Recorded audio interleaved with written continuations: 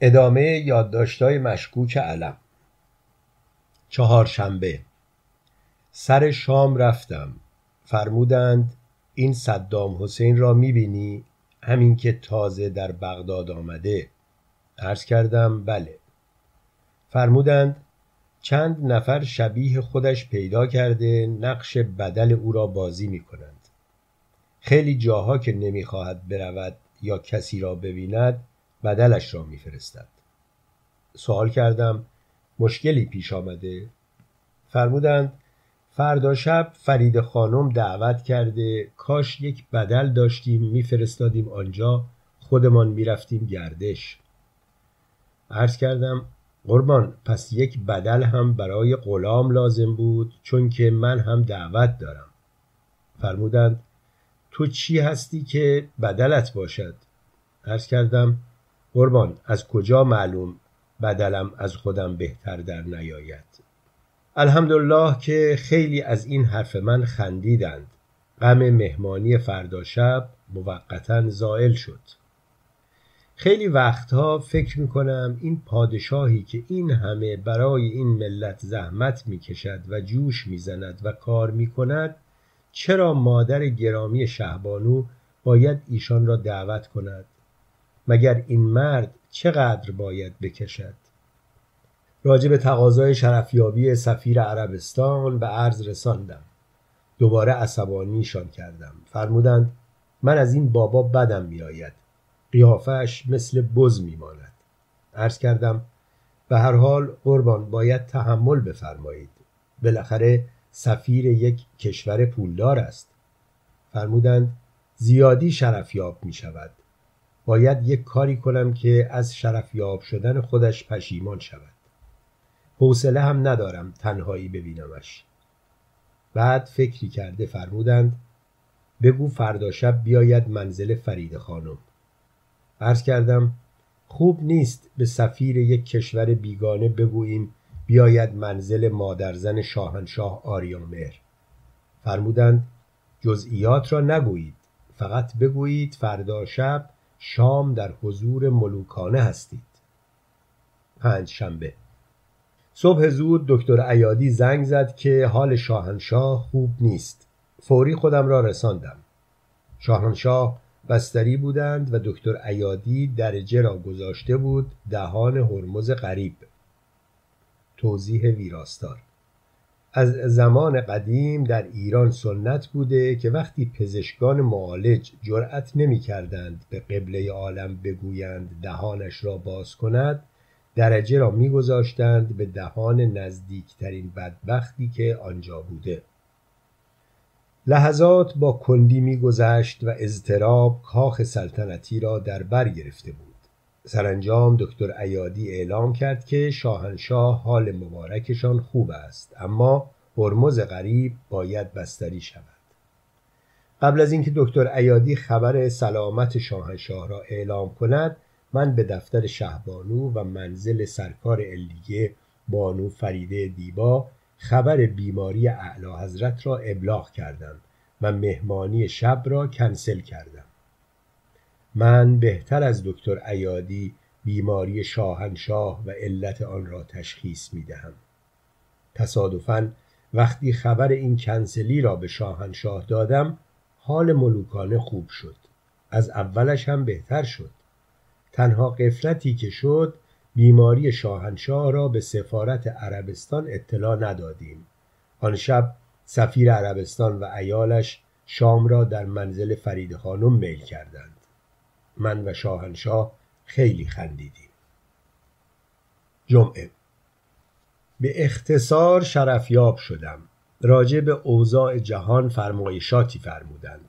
عرض کردم خاک بر سر این دنیا کنند که زمام اختیارش را نمی‌دهند دست پادشاه ما.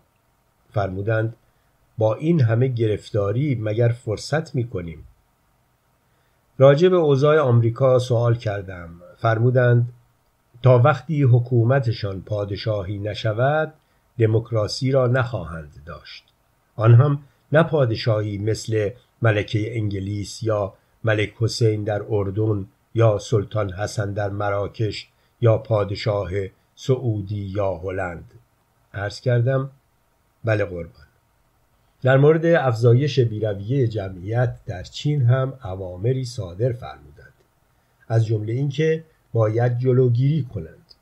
مخصوصا اینکه نژاد چینی چون همه افراد و آهادش یک شکل و قالبی در میآیند هر قدر هم بیشتر شوند فایده ای ندارد و فرقی با همدیگر نمی کنند. عرض کردم اگر شاهنشاه موافقت میفرمایند یک سفر رسمی به دعوت دولت چین تشریف ببرند و این مطالب را به آنها بگویند. فرمودند نه. چون که از قیافه رهبران فعلی چین خوشم نمی آید عرض کردم قربان اینها که قیافه هاشان با هم فرق نمی کند احساس کردم هیچ از جواب غلام خوششان نیامد. شنبه. صبح زود دکتر ایادی تلفن کرد که دیشب معلم شنای والا حضرت داشته توی آب خفه می شده برده اند اورژانس الحمدلله حالش بهتر است. گفتم پدر سوخته را از بیمارستان ببرید زندان تا دیگر غرق نشود. گفت بیچاره تقصیری نداشته. والا حضرت سرش را زیر آب نگه داشته بودند ببینند تا چند می توانند بشمرند. گفتم شکر خدا که والا حضرت تا دو هزار و پانصد بیشتر بلد نیستند بشمارند وگرنه بیچاره خفه شده بود. بعد از ظهر شنیدم که معلم شنا که قهرمان شنای آسیا هم بوده از بیمارستان که درآمده استعفایش را داده و عازم شده برای همیشه برود دامغان در باغ پسته عمویش کار کند و دیگر به تهران بر نگردد. وقتی ماجرا را به عرض شاهنشاه رساندم چقدر خوشحال شدند که محصول پسته امسال خوب بوده. دوشنبه. سر صبحانه شرفیاب شدم. فرمودند امروز صبح چند تانک چیفتن حسابی از انگلیس خریدم نصف قیمت. عرض کردم اعلی حضرت اگر بیشتر چانه میفرمودند ارزانتر هم می شود خرید. شاهنشاه آریامهر با عصبانیت یک موی ابروی خود را کنده فرمودند هیچکی نمی‌تونه ارزانتر از من تانک از انگلیس ها بخره. بعد فرمودند شنیدم میر فندرسکی به روزها اجازه داده با هواپیما از روی ایران رد شوند. عرض کردم شاید قربان. فرمودند چطور است برای کنف کردن میرفندرسکی دستور بدهیم نیروی هوایی ارتش شاهنشاهی هواپیماهای شوروی را دانه دانه بزند؟ عرض کردم قربان صلاح نیست چون اگر یکی از جنگنده های روسی ویراژ بدهد و سالم در برود اعلی حضرت در مقابل میرفندرسکی بقیه جمله را به صرفه برگزار کردم شاهنشاه هم چند تک صرفه ابلاغ فرمودند که موضوع عوض شود. بعد فرمودند بعد از ظهر برویم گردش. عرض کردم امروز تولد شهبانوست. فرمودند شم هم روشن می کنیم چهارشنبه. امروز نرفتم. می‌دانستم گردش دیروز شاهنشاه را خسته کرده. مهمانها دو دختر انگلیسی بودند و شاهنشاه مدتی راجع به تانکهای انگلیسی با آنها صحبت فرمودند. بعد که خلوت فرمودند من آمدم. بعدا شنیدم آمبولانس آمده یکی از مهمانها را برده بیمارستان. الله به این پادشاه که با این همه گرفتاری چه نیرویی در وجود مبارکشان ذخیره دارند پادشاهی که علاوه بر فرماندهی نیروی هوایی و نیروی زمینی و نیروی دریایی یک نیروی مهمتری را هم فرماندهی می‌فرمایند تا شب در منزل ماندم و یک سره برای اعلی حضرت اسفند دود کردم به طوری که همسایه ها آتش نشانی خبر کرده بودند. دوشنبه. صبح زود شرفیاب شدم. شاهنشاه در استخر تشریف داشتند. فرمانده نیروی دریایی را هم احزار فرموده با او مذاکره می‌فرمودند. از او سوال فرمودند عمق دریای مازندران چقدر است؟ فرمانده نیروی دریایی همینطور که در آب دست و پا می‌زد عرض کرد خیلی قربان. شاهنشاه بزرگ ما به کنایه فرمودند خیال می کردم بیشتر از اینها باشد. تیمسار دریادار از خجالت آب شده بود. عرق از سر و رویش میریخت ولی چون توی آب بود معلوم نمی‌شد. شاهنشاه فرمودند آی خشک بیار. من فوری لنگ مخصوص سلطنتی را که پادشاه عربستان تقدیم کرده بود به شاهنشاه آریامهر رساندم و چشمهای خود را بستم. توضیح ویراستار وقتی شاه از استخر یا حمام بیرون می آمد همه درباریان وظیفه داشتند تا چند دقیقه چشمهای خود را ببندند و تا وقتی رئیس تشریفات نگفته باز نکنند. آن روز معلوم نیست علا حضرت به عمد یا به علت فراموشی به فرمانده نیروی دریایی اجازه بیرون آمدن از آب نفرمودند بیچاره تا غروب که آب استخر را عوض می کردند توی آب دست و پا می زد. سهشنبه امروز اتفاق جالبی افتاد. طلبه ای در یکی از شهرستانها که با ساواک همکاری داشته تصمیم داشته پسر رئیس ساواک را به بهانه درس قرآن اقفال کند. چند ساواکی که از نقشه آگاه می شوند او را اقفال کرده و چند نفری قرآن یاد خودش می دهند. حالا امام جمعه تلفن کرده بود شکایت که چرا ساواک باید به روحانیت تجاوز کند گفتم برای اینکه آن روحانیت هم می‌خواسته بچه مردم را بیسیرت کند. گفت می‌خواسته قرآن یادش بدهد. گفتم خدا هم همینجوری قرآن یاد پیغمبر داد؟ امام جمعه بوغ بوغ بوغ گمان کنم تلفنش سوخت. چهارشنبه.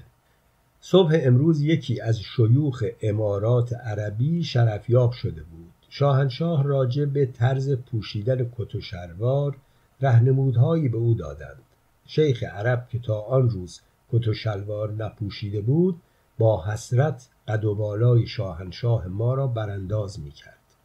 شاهنشاه عظیم و شعن ما هم برای تعلیمات بیشتر یکی دو دست از کت و شلوارهای خود را در مقابل او پوشیده و راه رفتند به طوری که دهن شیخ عرب آب افتاده بود شاهنشاه که یکی از شیک پوشترین رهبران دنیا تشریف دارند حسابی طرف را مسهور قد فرموده بودند.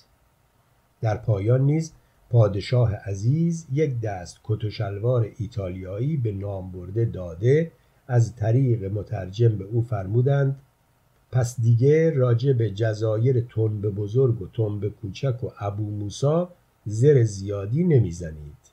شیخ عرب هم در پاسخ ده دقیقه مطالبی به عرض رساند که مترجم از تنبلی ترجمه نکرد و فقط عرض کرد اعلی حضرت ها زر می‌زنه. پنج شنبه سر شام رفتم. خیلی راجع به شیخ دیروزی صحبت کردیم. شاهنشاه فرمودند اینها را دست کم نگیرید. ما اگر یک کم بی ارزگی نشان بدهیم اینها بی رو در وایسی دختران ما را در شیخ نشینهای خودشان به حراج می‌گذارند. عرض کردم علا حضرتا چطور ممکن است چون این چیزی اتفاق بیفتد؟ فرمودند اگر یک رژیم بیناموسی در این مملکت روی کار بیاید همه این اتفاقها میافتد. عرض کردم دختران ما را که غلط می کنند خرید و فروش کنند. ولی اگر رجال سیاسی ما را بخواهند من حاضرم این تیم سارولیان را نصف قیمت به عربها بفروشیم. فرمودند میترسم کت و شلوارش را بردارند خودش را پس بفرستند. شنبه. تا ظهر داشتم غذای ماهیچه میپختم. مهمان من غذای ماهیچه خیلی دوست دارد. وقتی غذا می‌خورد و من لب و لوچش را نگاه می کنم چه لذتی می‌برم. چقدر من این سگ اعلی حضرت را دوست دارم. خودش نمی‌دانست امروز ماهیچه مهمان من است. رابطه من با این سگ رابطه عجیبی است. به جای اینکه او برای من دم تکان بدهد من برای او دم تکان می‌دهم. مهره های کمرم لق شده ولی ارزش دارد. مگر شاه ما چند تا سگ دارد؟ هنوز یادم نمی رود روزی که بردمش پیش دکتر اسانلو دنبش را برید. دستور علا حضرت بود. وقتی ملاحظه فرمودند هر وقت سرکار علیه بانو فریده دیبا تشریف فرما می شوند این سگ دمش را تکان می دهد فرمودند این را ببر دنبش را اخته کن. من عاشق فارسی حرف زدن علا حضرت و همایونی هستم. بردم دمش را اخته کردم. البته موضوع دم این سگ را در یادداشت دیگری هم گفته بودم. چقدر این سگ برای همه ما عزیز است. از وقتی سگ والا حضرت شاپور غلام رضا از گرسنگی مرد قدر این سگ را بیشتر می‌دانیم دوشنبه. صبح زود با شاهنشاه آریامهر سنا گرفتیم. چقدر هیکل مبارک شاهنشاه بدون لباس رسمی لخت به نظر می رسد. به نظر من پادشاه مملکت باید با همان درجه و مدال و نشان و نخ و تنابی که از معظم الله آویزان است سنا بگیرند اینجوری وقتی عرق میفرمودند مثل یک آدم معمولی که عرق کرده باشد به نظر می رسیدند. اعلی حضرت همایونی لخت مادرزاد در مقابل من ایستاده و از من سوال فرمودند چرا چشمهایت را بسته ای؟ به عرض مبارک نرساندم که نمی‌توانم شاهنشاهم را که همیشه چیزهای زیادی به ایشان آویزان است در حالی ببینم که چیز زیادی به معظم الله آویزان نیست. چشمایم را باز کردم. ذرات عرق همچون شبدم بر گل وجود پادشاه میغلطید. چقدر دلم می‌خواست که دوستم فریدون توللی آنجا بود و یک شعری در این باره می‌گفت. بعدا که برایش تعریف کردم این شعر را برایم فرستاد. شها تو سایه لطف خدایی به لختی نیز مهر آریایی. قدت افزونتر از ژنرال دوگل نیز قویتر از شه اسپانیایی. اگرچه پادشاه و شاه شاهان گهی مثل رئیس جمهور مایی ز بس ایمان و دینت هست محکم همیشه عازم کرب و بلایی. نجاتت حضرت عباس داده چه عالی با ائمه آشنایی. به گردش می روی با ماه رویان عجب خوش گردش و خوش اشتهایی. عرق کردی مبارک بادت ای شاه. تو فخر هرچه حمام سنایی توضیح ویراستار. شعر نمی‌تواند از توللی باشد. احتمالا از ابراهیم صحباست سهشنبه بعد از شام رفتم. اعلی حضرت اوقاتشان خیلی تلخ بود. قریب آهسته گفت رضا قطبی آنجا بوده و اولیا حضرت شهبانو سر شام همه تهدیگ را به پسرخالش تعارف کرده چیزی به شاهنشاه آریامهر نرسیده. من چیزی به روی خودم نیاوردم. شاهنشاه خودشان فرمودند قطبی اینجا بود. بعد فرمودند فکر نمی کنی رئیس رادیو تلویزیون باید عوض شود؟ عرض کردم مهندس قطبی آدم بدی نیست قربان. فرمودند یعنی هیچ عیبی ندارد؟ عرض کردم مهمترین عیبش این است که تهدیگ زیاد می‌خورد. شاهنشاه خیلی جا خوردند از این حرف من. نمی‌دانستند ماجرا را شنیدم فرمودند قربان دهنت. پس منزل شما هم زیاد تهدیگ می‌خورد. امشب هم که اینجا بود هرچه تهدیگ بود اولیا حضرت گذاشت توی بشخاب او. ایشان هم همه را بلعید. انگار با هم قرار گذاشته بودند. توضیح ویراستار. فرح و قطبی مستقیما با هم تماس نداشتند اما از طریق کاگبه مسائل مربوط به تهدیگ به آنها دیکته می شده. توضیح دوم ویراستار. باج ندادن شهبانو به بعضی پژوهشگران خارج کشور باعث شده تحقیقاتشان به تهدیگات تبدیل شود. مقداری شاهنشاه را دلداری دادم. از سرداران بزرگ تاریخ و کشورگشایانی مثل نادر و ناپلون گفتم که هیچ کدامشان در زندگی تهدیگ سیری نخوردند. کم کم پادشاه آرام شدند. فرمودند پس فردا برویم گردش. فهمیدم تصمیم دارند انتقام تهدیگ را از شهبانو بگیرند. با خود گفتم وای به حال مهمانی که در گردش فردا گیر اعلی حضرت همایونی بیفتد. تهدیگش بالا می آید چهارشنبه. صبح شرفیاب شدم. چون امروز بعد از ظهر قرار گردش داشتند از صبح زود یک مقدار توپ و تانک و مسلسل و غیره از انگلیس و شوروی خریداری فرموده بودند خریدن مهمات روحیه شاهنشاه را برای عملیات گردشی آماده می کند. توضیح ویراستار در آن تاریخ قرص وایاگرا کشف نشده بود. بعد از ظهر در التزام رکاب همایونی به خانه تیمی رفتیم. هفتا مهمان ایستاده بودند. شاهنشاه مهمانها را سان دیده آهسته به من فرمودند ما داریم گیج می‌شویم. نمی‌دانیم از کجا شروع کنیم. عرض کردم اعلی حضرت اجازه بفرمایند من اسمهاشان را بپرسم. به ترتیب الفبا ابراز تفقد بفرمایید.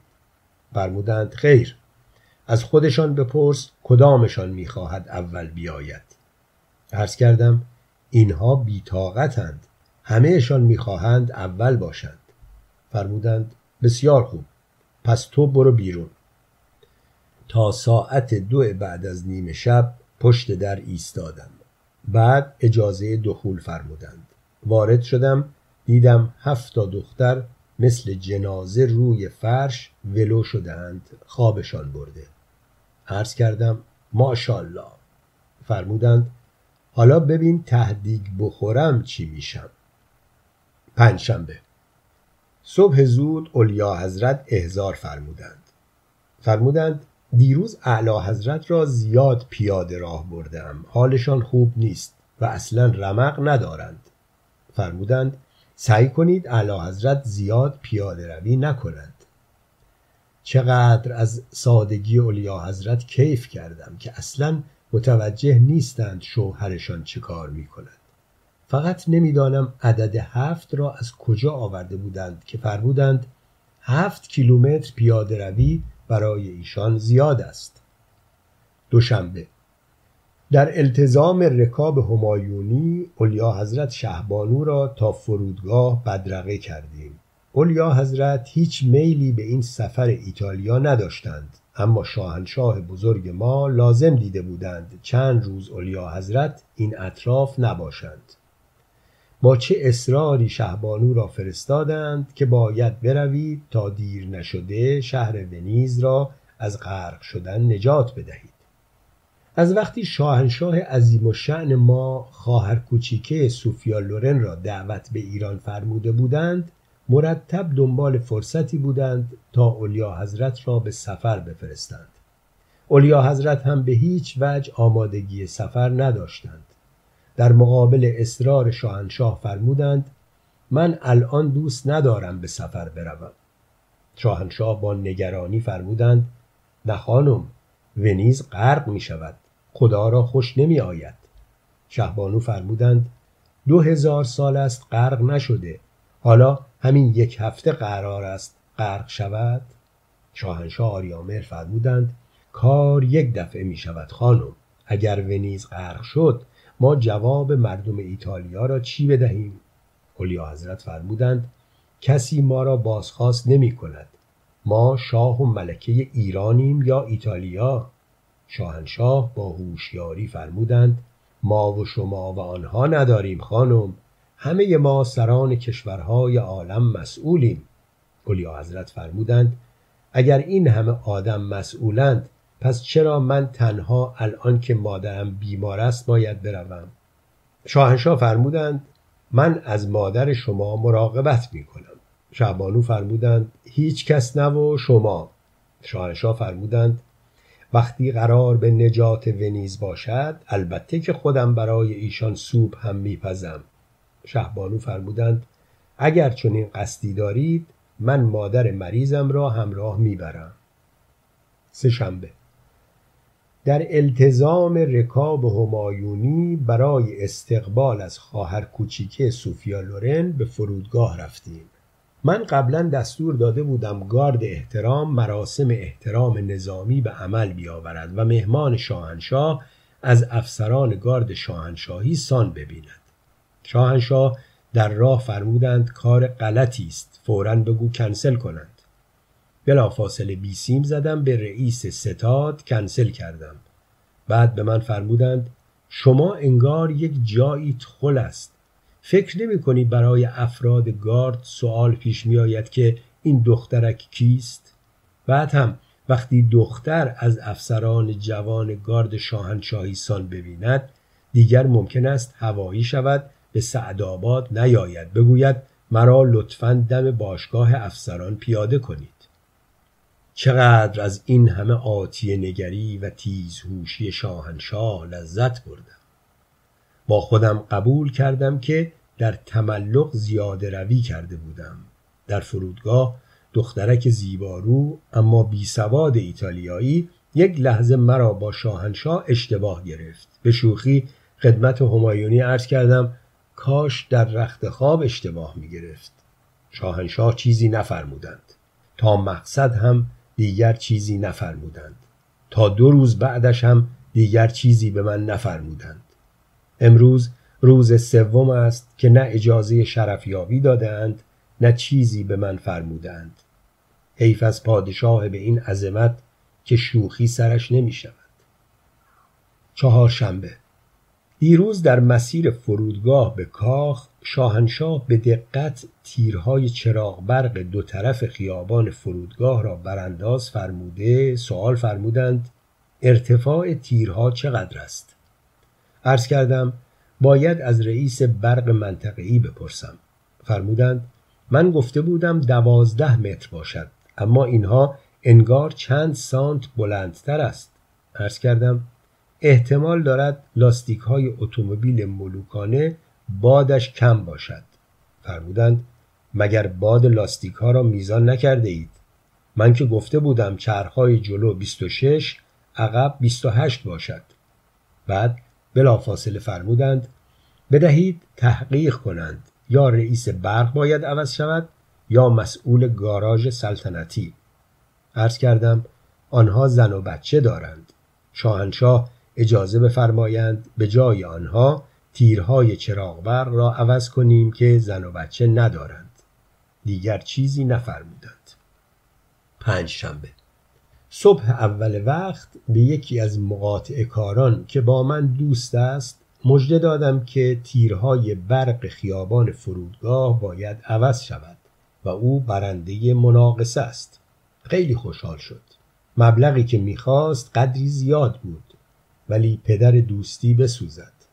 قرار شد همان تیرها را در بیاورند رنگ جدیدی به آنها بزنند و چند سانت کمتر توی زمین فرو کنند که رضایت ملوکانه جلب شود. در پایان مکالمه پرسید شما چقدر کمیسیون می‌خواهید؟ با عصبانیت گفتم میدانی که من اهل این حرفها نیستم. گوشی را گذاشتم. همهشان می‌دانند که این طرز برخورد من یعنی پنجاه درصد. شنبه. ساعت چهار صبح تلفن فرمودند که همین الان سفیر آمریکا را بیدار کن بگو تا نیم ساعت دیگر برود به در خانه سفیر انگلیس. بگوید ما هیچ از قرارداد جدیدی که کنسرسیوم دارد به اوپک تحمیل می کند راضی نیستیم. و اگر بخواهند ادامه بدهند فردا ساعت سه از خواب بیدارشان می کنیم بلافاصله تلفن کردم هویدا را از خواب پراندم.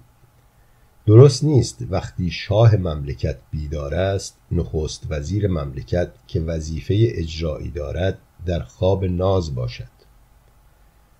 توضیح ویراستار اینجا علم تحت تأثیر ترانه ای از اکبر گلپایگانی بوده که می‌گوید ملت به خواب ناز چشمای شاه بیدار. هویدا بیدار بود داشت کتاب می‌خواند. پرسیدم تازگی چه کتابهایی خوانده اید گفت دیشب یک کتاب فرانسوی خواندم به نام گردش تورم در اقتصادهای ماتریالیستی بلوک شرق تحت تأثیر نیاز لیبرالیزم جهان سوم. بعد گفت می‌خواهم بخش های حساس این کتاب را برای اعلی حضرت بازگو کنم. گفتم به هیچ وجه این کار را نکن. می‌دانستم به محض اینکه اسم کتاب را برای شاهنشاه بگوید دیگر لازم نیست به جاهای حساسش برسد. همین کلمه گردش را که بگوید شاهنشاه بزرگ ما حالی به حالی می شوند و شکل تورم عوض می شود و خر بیار باقالی بار کن. تلفن زدم به منزل سفیر آمریکا. همسرش گفت رفته در خانه سفیر انگلیس. معلوم شد وقتی من با هویدا پای تلفن بودم اعلی حضرت خودشان به سفیر تلفن فرموده و اوامر لازم صادر فرموده بودند. شاه ما خودش وزیر دربار خودش است. یک شنبه. امروز مدتی راجع به ریاضیات والا حضرت ولی عهد با شاهنشاه صحبت داشتیم. عقیده مبارک همایونی بر این بود ولی عهد هم مثل سایر دانش آموزان کشور به مدرسه معمولی برود ولی کتک نخورد. و عرض ملوکانه رساندم البته والا حضرت هم باید از کتک زدن معلمهایشان خودداری بفرمایند شاهنشاه فکری فرمودند ولی چیزی که مهم باشد نفرمودند فقط با لبهای همایونی یک صدایی درآوردند که بیشتر سوئیسی ها این کار را می کنند. یک مدت هم راجع به سگ همایونی حرف زدیم که مدتی است میل گردش ندارد و به سگهای دیگر بی شده. عرض کردم خیلی به غلام توجه پیدا کرده. فرمودند از روزی که شما چهار دست و پا جلوش راه رفته ای این سگ هوایی شده. عرض کردم چهار دست و پا شدن غلام که چیز تحریک کننده ای نداشت. فکر می کنم واق واق کردنم رویش اثر گذاشته باشد. فرمودند سگ است دیگر. دوشنبه. دو روز است دارم روی این جمله شاهنشاه آریامهر فکر می کنم که عجب جمله ای فرمودند که هنوز در معنیش حیرانم. فرمودند سگ است دیگر. دیروز هم شرفیاب نشدم و به این جمله فکر می کردم ما چه پادشاهی داریم که هر جملهش دو سه روز وقت فکر کردن می گیرد آخرش هم آدم هیچ چیز نمی‌فهمد. بعد از ظهر خانم علم با کنجکاوی پرسید راست است که اعلی حضرت زن گرفتند؟ گفتم بله. پرسید اسم خانم را میدانی؟ گفتم بله. شهبانو فرح. خانم علم با عصبانیت گفت خودت را به خریت نزن. منظورم اسم آن یکی زن اوست. گفتم ملکه سریا نزدیک بود با گلدانی که در دسترس دارد به سرم بکوبد. اما شانس آوردیم گلدان را تازه خریده بودیم. با عصبانیت گفت اخبار چهل سال پیش را خودم دارم اما تازگی ها هم انگار شاهنشاه بله. گفتم نه خیر. باز گفت بله. گفتم بله نه خیر. گفت زن هم نگرفته باشند ولی زیر سرشان بلند شده. گفتم وقتی پادشاهی مثل شاهنشاه ما سر بلند باشد زیر سرشان هم به همان بلندی می شود. در حالی که قرقر کنان بیرون می رفت گفت حق باز فوزیه را از قلم انداختیم. سهشنبه.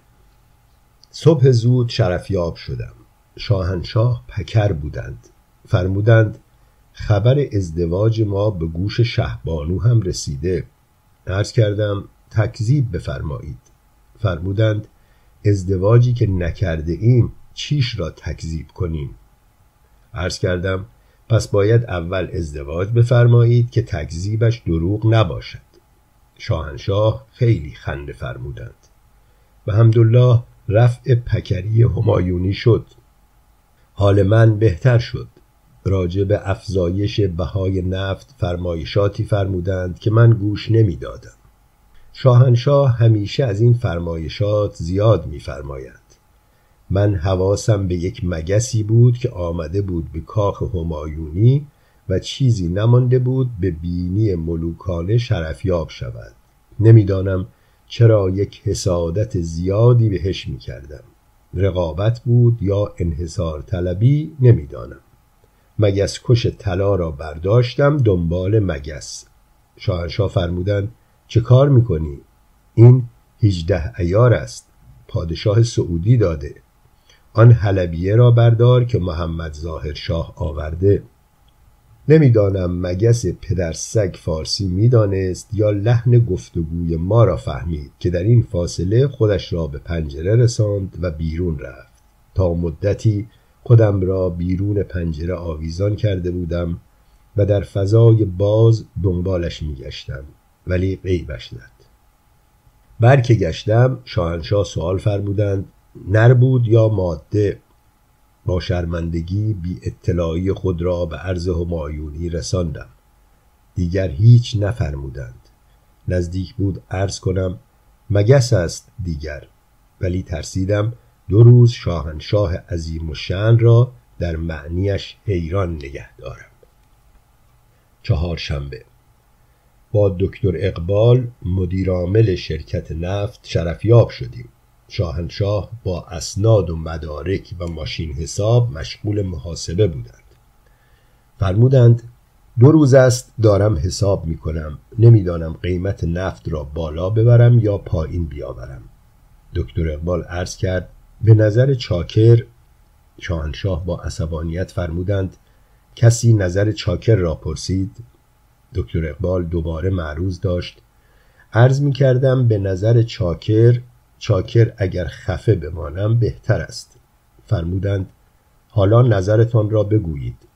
عرض کرد در حال حاضر بهتر است اعلی حضرت همایونی قیمت هر بشک نفت را دو دلار پایین بیاورند اما نرخ هر چهار بشکه را هشت دلار بالا ببرند. فرمودند فکر خوبی است. کنسرسیوم را گیج می کنیم اما درآمدمان فرقی نمی کند بعد از دکتر اقبال سوال فرمودند آیا داروخانه های ما نفت می فروشند؟ عرض کرد خیر. فرمودند اشکالی ندارد. عوضش امروز بعد از ظهر با علم می رویم گردش. چقدر خوشم آمد از حضور ذهن همایونی که به این زیبایی موضوع قیمت نفت را به گردش بعد از ظهر وصل فرمودند. برای تهیه وسایل لازم مرخص شدم. پنج شنبه. دیروز در خدمت ملوکانه گردش رفتیم. هر دومان داماد شدیم. متاسفانه موقع برگشتن شاهنشاه بزرگ ما پیراهن همایونی را وارونه پوشیده بودند. به محض ورود به کاخ سرکار علیه بانو فریده دیبا که تشریف آورده بودند متوجه شده جسارتا گفت اوا علا حضرت پیراهنتان را چپه پوشیده اید. من به داد ولی نعمت خود رسیده گفتم سرکار علیه مدلش همینطور است. شاهنشاه که برای چند لحظه قیبشان زده بود فرمودند این پیراهنهای ایتالیایی پشت رویش فرقی نمی کند. به نظر شما این پیراهن چپه است. چقدر حز کردم از سرعت عمل پادشاهمان که در همان چند لحظه غیبت پیراهن را درآورده درست پوشیده بودند و سرکار علیه بانو فریده دیبا در حالی که دوباره به پیراهن اعلی حضرت چشم دوخته بود حیرت زده گفت حق با شماست. نفسی به راحت کشیدم و به منزل برگشتم. به محض ورود خانم علم گفت چرا کراوات اعلی حضرت را بسته ای به گردنت شنبه. روز اول فروردین شاهنشاه عظیم و شن برای سلام نوروزی روحانیون تراز اول را به کاخ دعوت کرده بودم. می‌دانستم که پادشاه روشنفکر ما در باطن ارزشی برای این حق بازهای مفتخور قائل نیستند و فقط به خاطر احترام و ائمه اطهار و چهارده معصوم است که اینها را تحویل می‌گیرند. در آن صبح بهاری من با دوستم در آپارتمان بودیم و داشتم او را برای پذیرایی از پادشاه بزرگ آماده می کردم چون قرار بود شاهنشاه بعد از سلام نوروزی با او به گردش برود به دوستم یاد می‌دادم چه کارها بکند و چه کارها نکند چون شاهنشاه ما از گاز گرفتن خوششان نمی آید یک مقدار دخترک را راهنمایی کردم که از کاخ تلفن کردند که امام جمعه و روحانیون آمدند. ولی تقاضای عاجزانه دارند که شاهنشاه قدری دیرتر تشریف بیاورند. معمولا ملاقاتی ها در سالن منتظر می ماندند و شاهنشاه وارد می شدند تعجب کردم. اینها که همیشه عجله دارند برای دست بوس شاهنشاه چرا حالا تقاضای تأخیر دارند؟ با عجله خودم را رساندم. دیدم رئیس تشریفات دربار گفته همه پنجره های کاخ را باز کنند. خیلی تعجب کردم. معلوم شد در آخرین لحظات یکی از آقایون روحانیون صدایی از خودش خارج کرده که به برکت آن بوی عجیبی سراسر کاخ را برداشته به طوری که حتی آین کاری های در و دیوار هم کدر شده بود. خوشبختانه اتاق کار شاهنشاه از این مجموعه جدا بود و خطری ایشان را تهدید نمی کرد. اما کارکنان کاخ بینیشان را گرفته و به گوشه ای پناه برده بودند وقتی وارد تالار شدم امام جمعه با رنگ پریده پیش آمد که معلوم بود کار خودش است با وقاحت و دقلی گفت چون می‌خواهیم برای شاهنشاه دعا کنیم از معظم الله استدعا داریم دیرتر تشریف فرما شوند. گفتم شما که عطر دعایتان همه کاخ را برداشته با شرمندگی گفت بین خودمان بماند. گفتم اگر اجازه بفرمایید بین خودمان نماند. خفه می‌شوید دستور دادم دو تا پنکه بزرگ در سرسرا بگذارند و دستگاه تهویه کاخ را روشن کنند. قریب گفت تهویه را روشن کردند ولی زورش نرسیده. خاموش شده. خوشبختانه بوی سوختن دستگاه تهویه قدری اثرات امام جمعه را کم کرده بود. وقتی شاهنشاه تشریف آوردند با دماغ مبارکشان بو کشیده پرسیدند اینجا اتفاقی افتاده؟ عرض کردم چطور مگه؟ فرمودند یک بویی می آید بعد فرمودند برو چند تا از این اسپره های به به و خوشبو کننده بگیر بیا خالی کن روی این امام جمعه. در دل به هوش پادشاه خود آفرین گفتم. پنج شنبه شام منزل والا حضرت غلام رضا مهمان بودیم. در راه شاهنشاه به شوخی فرمودند کاش ساندویچ هایمان را آورده بودیم. عرض کردم برمیگردیم شام می‌خوریم. خنده فرمودند. بعد فرمودند انگار حقوق آشپزش را هم نمی‌دهد. عرض کردم همه فرزندان رضاشاه کبیر یک جور در نمی آیند. از چهره ملوکانه احساس کردم در ذهن مبارکشان دارند حقوق غلام را زیاد میفرمایند. چیزی نگفتم که افکارشان پاره نشود. شب خوبی بود. به خصوص که ولیعهد دانمارک را هم با نامزدش دعوت کرده بودند. دخترک بسیار زیبا و خوش ادا بود. شاهنشاه چنان محو تماشای او شده بودند که اولیا حضرت شهبانو هم فهمیدند. سر شام شاهنشاه زیر لبی به من فرمودند یارو ولی عهده انگار هم غیرتی است. عرض کردم نمی‌داند چه سعادتی می‌تواند نصیبش شود. از شام هم اصلا خوششان نیامد. فرمودند دیدی گفتم باید ساندویچ می آوردیم بعد در حالی که چشم به عروس دانمارکی دوخته بودند فرمودند کار ما برعکس است. به جای ساندویچ شهبانو را آورده جمعه. هویدا با نگرانی تلفن کرد که شرفیاب بوده و گزارش می‌داده. آخرش شاهنشاه به او فرمودند خوب ما را گذاشتی سر کار. حالا می‌خواست بداند چه معنی می‌دهد و منظور شاهنشاه چه بوده. پرسیدم جدی فرمودند یا شوخی فرمودند؟ گفت وقتی میفرمودند داشتند موی ابروی مبارکشان را میکندند. گفتم آخ آخ عصبانی بودند. صدای ناله آمد و سکوت شد. بعد صدای خانم امامی آمد که گفت ببخشید آی علم امیر عباس از هوش رفت. گفتم فوری تلفن کنید آمبولانس. گفت چون قرار بوده شرفیاب شود آمبولانس آمده است. گفتم فکر خوبی می کند که روزهای شرفیابی آمبولانس خبر می کند گفت اصلا با آمبولانس می رود و برمیگردد. آفرین به چنین پادشاه دموکراتی که این همه جذبه دارد. نخست وزیر انگلیس تره هم برای ملکهشان خورد نمی کند نخست وزیران ما تره که جای خود دارد. علوفه هم اگر اعلی حضرت جلوشان بگذارند می‌خورند می‌گویند بقیهش کو. شنبه. در شرفیابی صبح مقداری از اوضاع جهانی صحبت کردیم. شاهنشاه به طور کلی از اوضاع سیاسی دنیا احساس نارضایتی فرمودند. فرمودند یک نفر باید مسئول کار دنیا باشد و همه چیز را درست کند. فرمودند یک مرد باهوش و بالیاقت باید زمام امور دنیا را به دست بگیرد.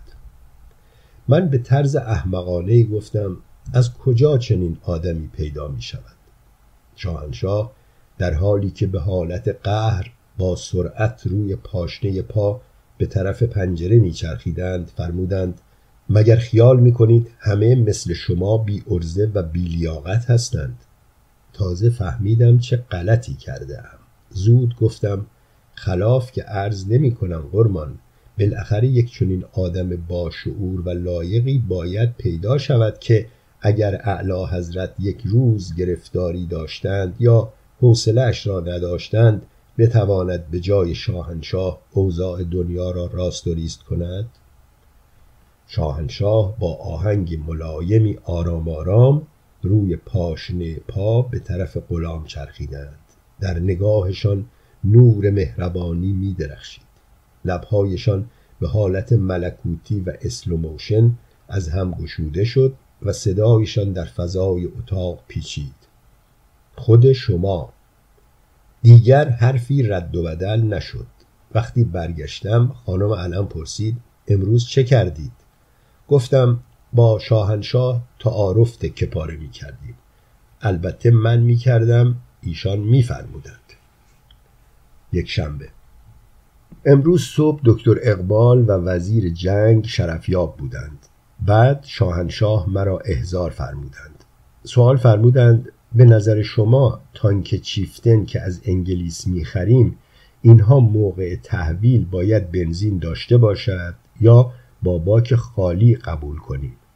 اولیا حضرت شهبانو فرمودند ما برای بچه ها هم که اسباب بازی می‌خریم رویش نوشته باتری is not included.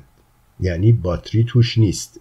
شاهنشاه با حالتی نزدیک به دهنکجی فرمودند اما روی تانک های چیفته ننوشته بنزین is not included خانم. بعد فرمودند ما این همه بابت تانک پول به اینها می‌دهیم. باید لااقل دو لیتر بنزین ته این باک صاحب مرده بریزند.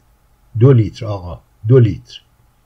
من که اصلا نمی‌دانستم چه جوابی بدهم برای اینکه سر نخ دستم بیاید پرسیدم قربان دکتر اقبال و وزیر جنگ نظرشان چه بود؟ جواب شاهنشاه مثل سطل آب یخ ریخت روی سرم. آنها گفتند از علم بپرسید.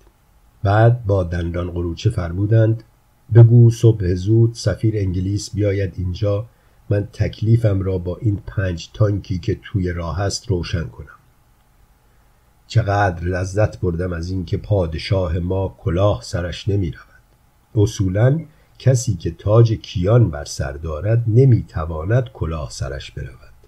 حساب حساب کاکا برادر. پول تانک را تا دینار آخر می دهیم اما دو لیتر بنزین را زیر بار زور نمی رویم. این است آین مملکت داری. تلفن زدم به سفیر انگلیس گفتم صبح زود شرفیاب شود. پرسید راجب ملکی زیبایی انگلیس است. گفتم خیر. هیچ ربطی ندارد. راجع به پنج چیفتن است. زیر لبی گفت یک ربط هایی دارد.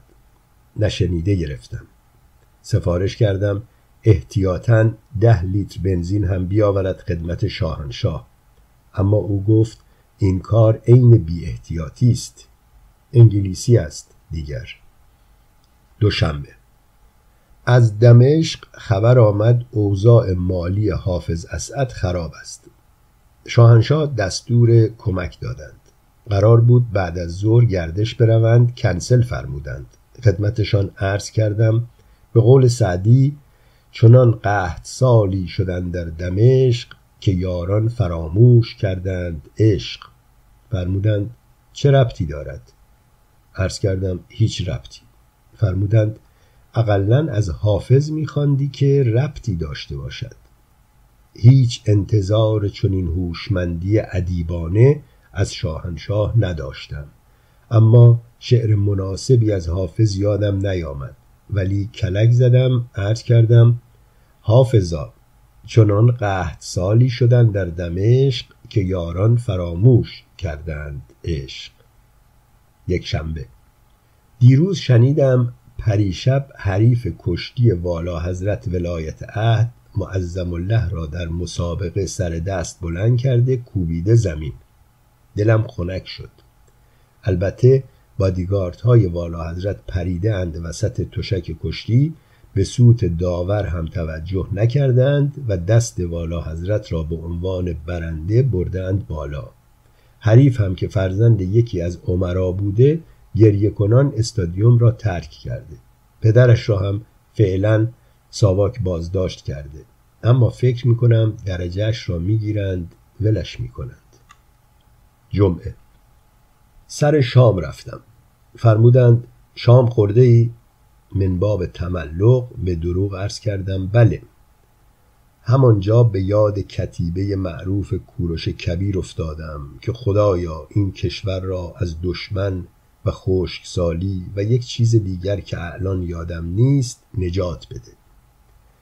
اوقات شاهنشاه از کارهای دولت تلخ بود. فرمودند شما مرتب میآیید بودجه اضافه می‌خواهید ولی کاری انجام نمی دهید می ترسم بالاخره کاری کنید که ایران ایرانستان شود. من عرض کردم خدا نکند.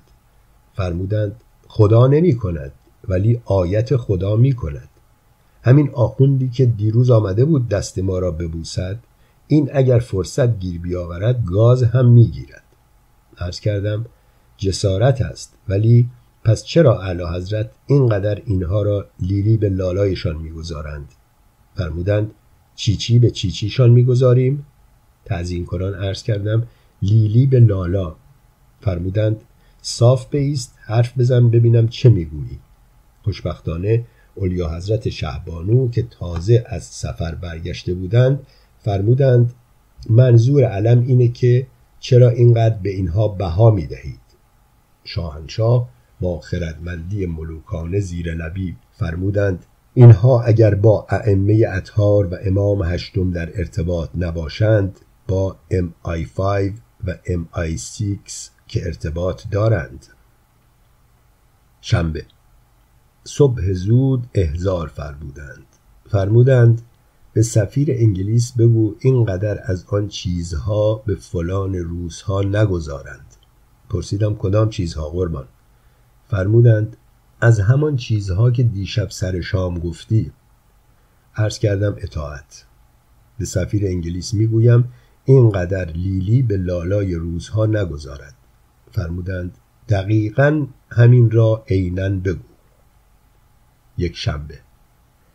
تمام روز با شجاع الدین شفا دنبال ترجمه لیلی به لالا میگشتیم. آقایان حیم و بروخین و کابوسی برومند را هم خواهش کردیم بیایند. من می‌دانم اعلی حضرت چقدر روی کلمات حساسیت و وسواسیت دارند. سرانجام سفیر انگلیس را خواستیم و حدود پنجاه کلمه و اصطلاح و ضرب المثل انگلیسی را برایش ردیف کردم. تا منظور شاهنشاه را برسانم. دست آخر سفیر انگلیس که از این همه کلنجار رفتن خسته شده بود گفت Do you mean we don't put too much lily to راشنل لالا در جوابش گفتم الله اکبر یس سهشنبه صبح زود شاهنشاه تلفنی احزار فرمودند. عرض کردم الان دوش می‌گیرم شرفیاب می‌شوم. فرمودند نمی‌خواهد دوش بگیری. بیا دوش نگرفته شرفیاب شو بره پی کارش. عرض کردم آدم صبح زود و هنگام سحر که دوش می‌گیرد غم و قصهش با آب دوش شسته می شود دوش وقت سحر از قصه نجاتم دادند. و در آن ظلمت شب آب حیاتم دادند. شعر را که خواندم شاهنشاه فرمودند بسیار خوب. دوش بگیر و بیا. هر وقت برای اعلی حضرت همایونی شعر می‌خوانم قانع می‌شوند. البته من سعی می‌کنم شعر مناسب بخوانم یا لاعقل شعری بخوانم که مناسب به نظر برسد. شاهنشاه بلند نظر ما هم زیاد سخت نمی‌گیرند. یک بار که در روز مادر یک کاسه نقره زیبا برای علیا حضرت ملکی مادر هدیه تهیه فرموده بودند به من فرمودند یک خدشه رویش بنویس که هم به کاسه مربوط باشد هم به مادر. نوشتم ما در پیاله عکس رخ یار دیده شاهنشاه خیلی لذت بردند از این مصرا فرمودند آفرین. بعد از من پرسیدند ما در پیاله فحش که نیست؟ عرض کردم خیر قربان. فرمودند احمق جان یک بار دیگر اگر علکی شعر به ما غالب کنی می‌دهم تیمسار مبصر سرت را از گردن بتراشد. بنابراین علا رغم بیتی که خوانده بودم دوش نگرفته شرفیاب شدم. چون حدس می‌زدم که شاهنشاه حواس مبارکشان جمع است. فرمودند میدانی که امروز خانم رئیس جمهور ایرلند جنوبی می‌خواهد شرفیاب شود. عرض کردم بله قربان. فرمودند اگر شهبانو این طرف ها نباشد مذاکرات ما بهتر پیش می رود عرض کردم یک برنامه بازدید از آثار پرویز تراولی برای علیا حضرت ترتیب می دهیم فرمودند ضمنا به ایشان بگو امروز پادشاه عربستان شرفیاب می شود عرض کردم ولیعهد قطر را هم اضافه می کنم فرمودند خدا خیرت بدهد. شنبه امروز در منزل به کارهای جاری رسیدم. یک جفت کفش برای اعلی حضرت به ایتالیا سفارش داده بودم. با پیک سفارت رسید. چه کفشی چه کفشی. یار العجب. اندازه پای خودم. وقتی پوشیدم انگار برای پای من قالب گرفتند. چقدر خوشحال شدم که پای من و شاهنشاه آریامهر اینقدر اندازش به هم نزدیک است. به خانم علم گفتم صدایش را در نیار اینها را خودم می پوشم. گفت تکلیف اعلی حضرت چی میشه؟ گفتم برای ایشان یک جفت دیگر سفارش میدم. گفت کار درستی نمی کنی پا توی کفش شاه می کنی. دیدم این خانم بابت تانگویی که من در آمستردام با مادر ملکه هلند رقصیده بودم هنوز ناراحت است گفتم خانم مرده از قبر درآمده باشد حاضر نیست با آن پیرزن مردنی تانگو برقصد.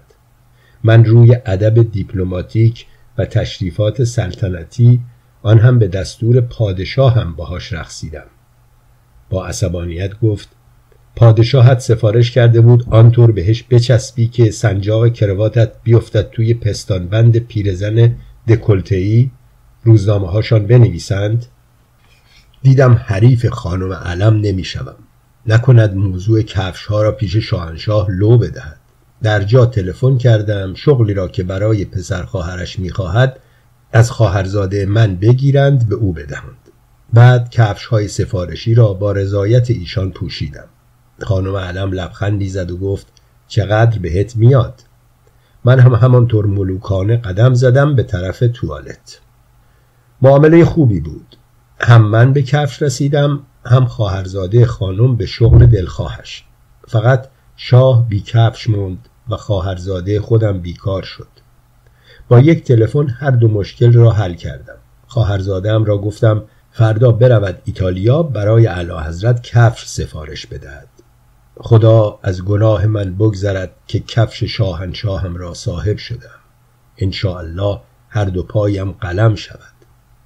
فردا با همین کفش ها شرفیاب می شوم که دل ولی نعمتم را آب کنم. یک شنبه. بعد از ظهر شرفیاب شدم. شاهنشاه در اتاق قدم میفرمودند. من که وارد شدم صدای قیژ قیژ کفشم توجه ملوکانه را جلب کرد. نگاه فرموده فرمودند عجب کفش شیکی. عرض کردم شاهنشاه پیشکش. فرمودند اندازه پای ما نیست وگرنه بر می داشتیم. عرض کردم بله. متاسفانه قدری برای پای شاهنشاه بزرگ است. هنوز جملم تمام نشده بود و کاملا نفهمیده بودم چه غلطی کردم که با لحنی عصبی که غرور پادشاهی و فره ایزدی از آن ساطع بود فرمودند برای ما کوچک است. تازه یادم افتاد که شاهنشاه آریامر پای خود را بزرگترین پای دنیا می‌دانند و هرگز قبول نمیفرمایند پای کسی از پای ملوکانه بزرگتر باشد. علکی گفتم غلام هم همین را عرض کردم که متاسفانه قدری پای شاهنشاه بزرگ است. پادشاه با حالت قهر روی پاشنه پا به طرف پنجره چرخیده فقط فرمودند قدری؟ برای عوض کردن موضوع عرض کردم راستی قربان عرب ها هم دارند کم کم می نویسند خلیج فارس. شاهنشاه با چهره خندان ذوق زده به طرف من برگشتند و پرسیدند ایتالیاییه؟ سراپایم غرق عرق شد. موضوع خلیج فارس هم نتوانست توجه شاهنشاه بزرگمان را از کفش ها منحرف کند. نمی‌دانستم چه جواب بدهم. هیچ چاره ای نداشتم جز اینکه از خواب بپرم. ساعت هفت صبح بود. تصمیم گرفتم کفش ها را ببرم و دو دستی تسلیم خاک پای ملوکانه کنم. تلفن زدم که شغلی را که گفته بودم به فامیل خانم ندهند. خواهرزاده خودم هم گفتم به ایتالیا نرود. سهشنبه سر نهار شرفیاب شدم. نخست وزیر هم بود. هویدا راجع به نطق اخیر شاهنشاه که فرمودند اگر مواظب نباشیم ایران ایرانستان می شود سوال کرده بود. اعلی حضرت برای هزارمین بار داشتند توضیح میفرمودند و فرمودند این را یک جایی یادداشت کن یادت نره. هر بار میایی سوال می‌کنی. ما باید از ارتجاع سیاه بترسیم. هویدا پرسید شاهنشاه بفرمایند ارتجاع سیاه چجور چیزی است. شاهنشاه فرمودند از چه نظر؟ من برای کنف کردن هویدا عرض کردم آقای نخست وزیر می‌خواهد بداند ارتجاع سیاه چه رنگی است. شاهنشاه آریامر فرمودند مشکی. لذت بردم که پادشاه مملکت با چه دقتی اوضاع کشور را در صورت حاکم شدن ارتجاع سیاه تصویر فرمودند. فرمودند دانشگاه می شود مسجد. هویدا سوال کرد دانشجویان چه می شوند؟ اعلی حضرت فرمودند دانشجویان می‌روند زندان. هویدا گفت زندان که جای لات ها و چاقوکش هاست. اعلی حضرت فرمودند آنها می‌روند توی کابینه. هویدا گفت کابینه را که باید متخصصان و تکنوکرات ها تشکیل بدهند. شاهنشاه فرمودند آنها می‌روند راننده تاکسی می‌شوند. بگذار نهارمان را بخوریم. چقدر خوشم آمد از پادشاهی که جوک چهل سال بعد را سر میز نهار برای نخست وزیرش تعریف می کند. ویدا وقتی خوب همه اینها را شنید گفت جناب آقای علم لطفا آن سس سالاد را رد کنید این طرف. چهارشنبه امروز رفتم سواری. دوستم از خارج آمده بود. چی شده پدر سگ؟ سواری خوبی بود. اسب هم نبرده بودیم. وقتی برگشتم خانم علم خیلی مشکوک بود. پرسید کدام اسب را سوار شدی؟ گفتم چطور مگه؟ گفت موی بلندش روی شانه شماست. گفتم مدتی داشتم موهای دمش را صاف می کردم گفت عجب اسبی است که مخرجش بوی عطر میناریچی را می دهد پنجشنبه. شام در منزل ییلاقی امیر هوشنگ دولو صرف شد. خودش نبود. کلید ویلا را داده بود به شاهنشاه. بعد از شام به من فرمودند شما به منزل بروید. خانم علم منتظر هستند. عرض کردم من با شاهنشاه آمدم با شاهنشاه هم برمیگردم. فرمودند خانم علم نگران می‌شوند. عرض کردم هزار تا از این خانم علم ها فدای یک موی سر شاهنشاه آریامهر من ولی نعمت خود را تنها نمی‌گذارم. فرمودند اگر این ولی نعمت بدبخت دلش بخواهد دو ساعت تنها باشد چه کسی را باید ببیند؟ به محض شنیدن این حرف با چنان سرعتی محل را ترک کردم که چیزی نمانده بود سر اولین پیچ بکوبم به مینیبوسی که از روبرو می آمد آن هم چه مینیبوسی. از فرودگاه می آمد و تمام ملکه های زیبایی جهان سوارش بودند. رانندهش هم امیر هوشنگ دولو. جمعه. صبح زود بیدار شدم. دوباره خوابیدم. کی حال دارد شرفیاب شود. برو بابا اعلی حضرت. خور پف خور پف خور. شنبه. شام در حضور ملوکانه افتخار صرف پیدا کرد. بعد از شام شاهنشاه آریامهر که اندکی هم شراب میل فرموده بودند آهسته در گوش غلام فرمودند بالاخره نفهمیدیم تختی را کی کشت. عرض کردم باید خودکشی کرده باشد. قبلا هم عرض کرده بودم. فرمودند یکی از رادیوهای خارجی انداخته گردن دربار. گفته شاه روی حسادت تختی را کشت. آخر من چه حسادتی با تختی داشتم؟ بابام کشتی گیر بود یا ننم؟ عرض کردم علا حضرت همایونی رضاشاه کبیر در ایام جوانی مقداری تمرین کشتی میفرمودند اما اولیا حضرت ملکه مادر را اطلاعی ندارم. فرمودند مثلش را می‌گویم. عرض کردم شرمندم غلام تصور داشت پرسش میفرمایید. فرمودند راجع به ورزشکار بودن باباننه خودم چرا از شما پرسش بفرماییم؟ عرض کردم غلام هم همین پرسش را داشتم.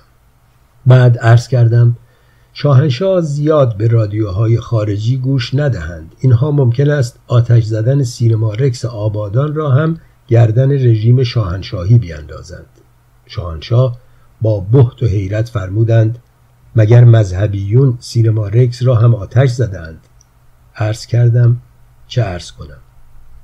توضیح لازم ویراستار. علم در زمان آتش سوزی سینما رکس زنده نبود و نمی توانست وقوع آن را برای شاه پیش بینی کند. احتمالا یادداشتهایش را بعدا دستکاری کرده و چیزهایی به آن افزوده است. توضیح کمک ویراستار من که حسابی گیج شدم. توضیح ملوکانه منم همینطور. توضیح امام خمینی لاکن ما حواسمان هست. یک شنبه. امروز در خانه ماندم. چند فقره کلاهبرداری گزارش کرده بودند که جلوی همش را گرفتم. عاملان را صدا زدم توبیخ کردم. همهشان کیسه پول نقد آورده بودند. گفتم دفعه آخرتان باشد بی اجازه من کلاهبرداری می کنید همهشان حسابی جا خورده بودند. پولها را خالی کردم کیسه ها را با آنها پس دادم. خدا را خوش نمی آید دفعه بعد دوباره کیسه بخرند. شنبه. صبح شرفیاب شدم. راجع به قیمت قند و چغندر سوال فرمودند. فرمودند قیمت هر دو باید برود بالا ولی انگلیس ها باید قیمت تانک های خودشان را پایین بیاورند. چقدر خوشم آمد که شاهنشاه با دقت به قیمت چغندر و تانک چیفتم به یک اندازه توجه دارند عرض کردم با وزیر کشاورزی در مورد قیمت چغندر صحبت می کنم فرمودند با او راجع قیمت تانک صحبت کنی بیشتر می‌فهمد. فکر نمی کنیم سر از کشاورزی در بیاورد. بعد فرمودند با وزیر دفاع ملی و تسلیحات ارتش تماس بگیر راجع به قیمت چغندر با آنها مشورت کن. آدمهای با صلاحیتی هستند. زیر لبی افزودند راجع به تانک هم چیزی به آنها نگو. سر در نمی آورد. چقدر این پادشاه ما باید جور همه آدمهای بیلیاقت را بکشد. زنده باد به این پادشاه که هیچ کس را در کار خود قبول ندارد. یادم نمی رود آخرین بار که مسافرت تشریف می بردند وقتی امام جمعه می‌خواست معظم الله را از زیر آینه قرآن رد کند شاهنشاه ما ناگهان آینه و قرآن را از دست او گرفتند و فرمودند ما می‌گیریم شما رد شوید. شنبه. ظهر تلفن فرمودند تاز کباب پختم می‌خوری؟ معلوم شد اولیا حضرت شهبانو که به شیراز تشریف بردهاند آشپز همایونی را هم با خودشان برده بودند. عرض کردم کدام احمقی هست که تاز کباب پادشاهش را نخورد؟ وقتی رسیدم خودشان نهار میل کرده بودند و من تنهایی تاس کباب خوردم. از روز شنبه گذشته که یادداشت بالا را نوشتم تا امروز که چهار شنبه است دلدرد و دلپیچ امانم را بریده. نصف عمرم در توالت گذشته. نصفش به دعاگویی وجود شریف پادشاه بزرگمان که با چه هوش و فراستی خودشان از خوردن تاز کباب خودشان تفره رفتند. فقط قدری به من خوراندند قدری به سگشان که امروز صبح برای معالجه فرستادندش سوئیس.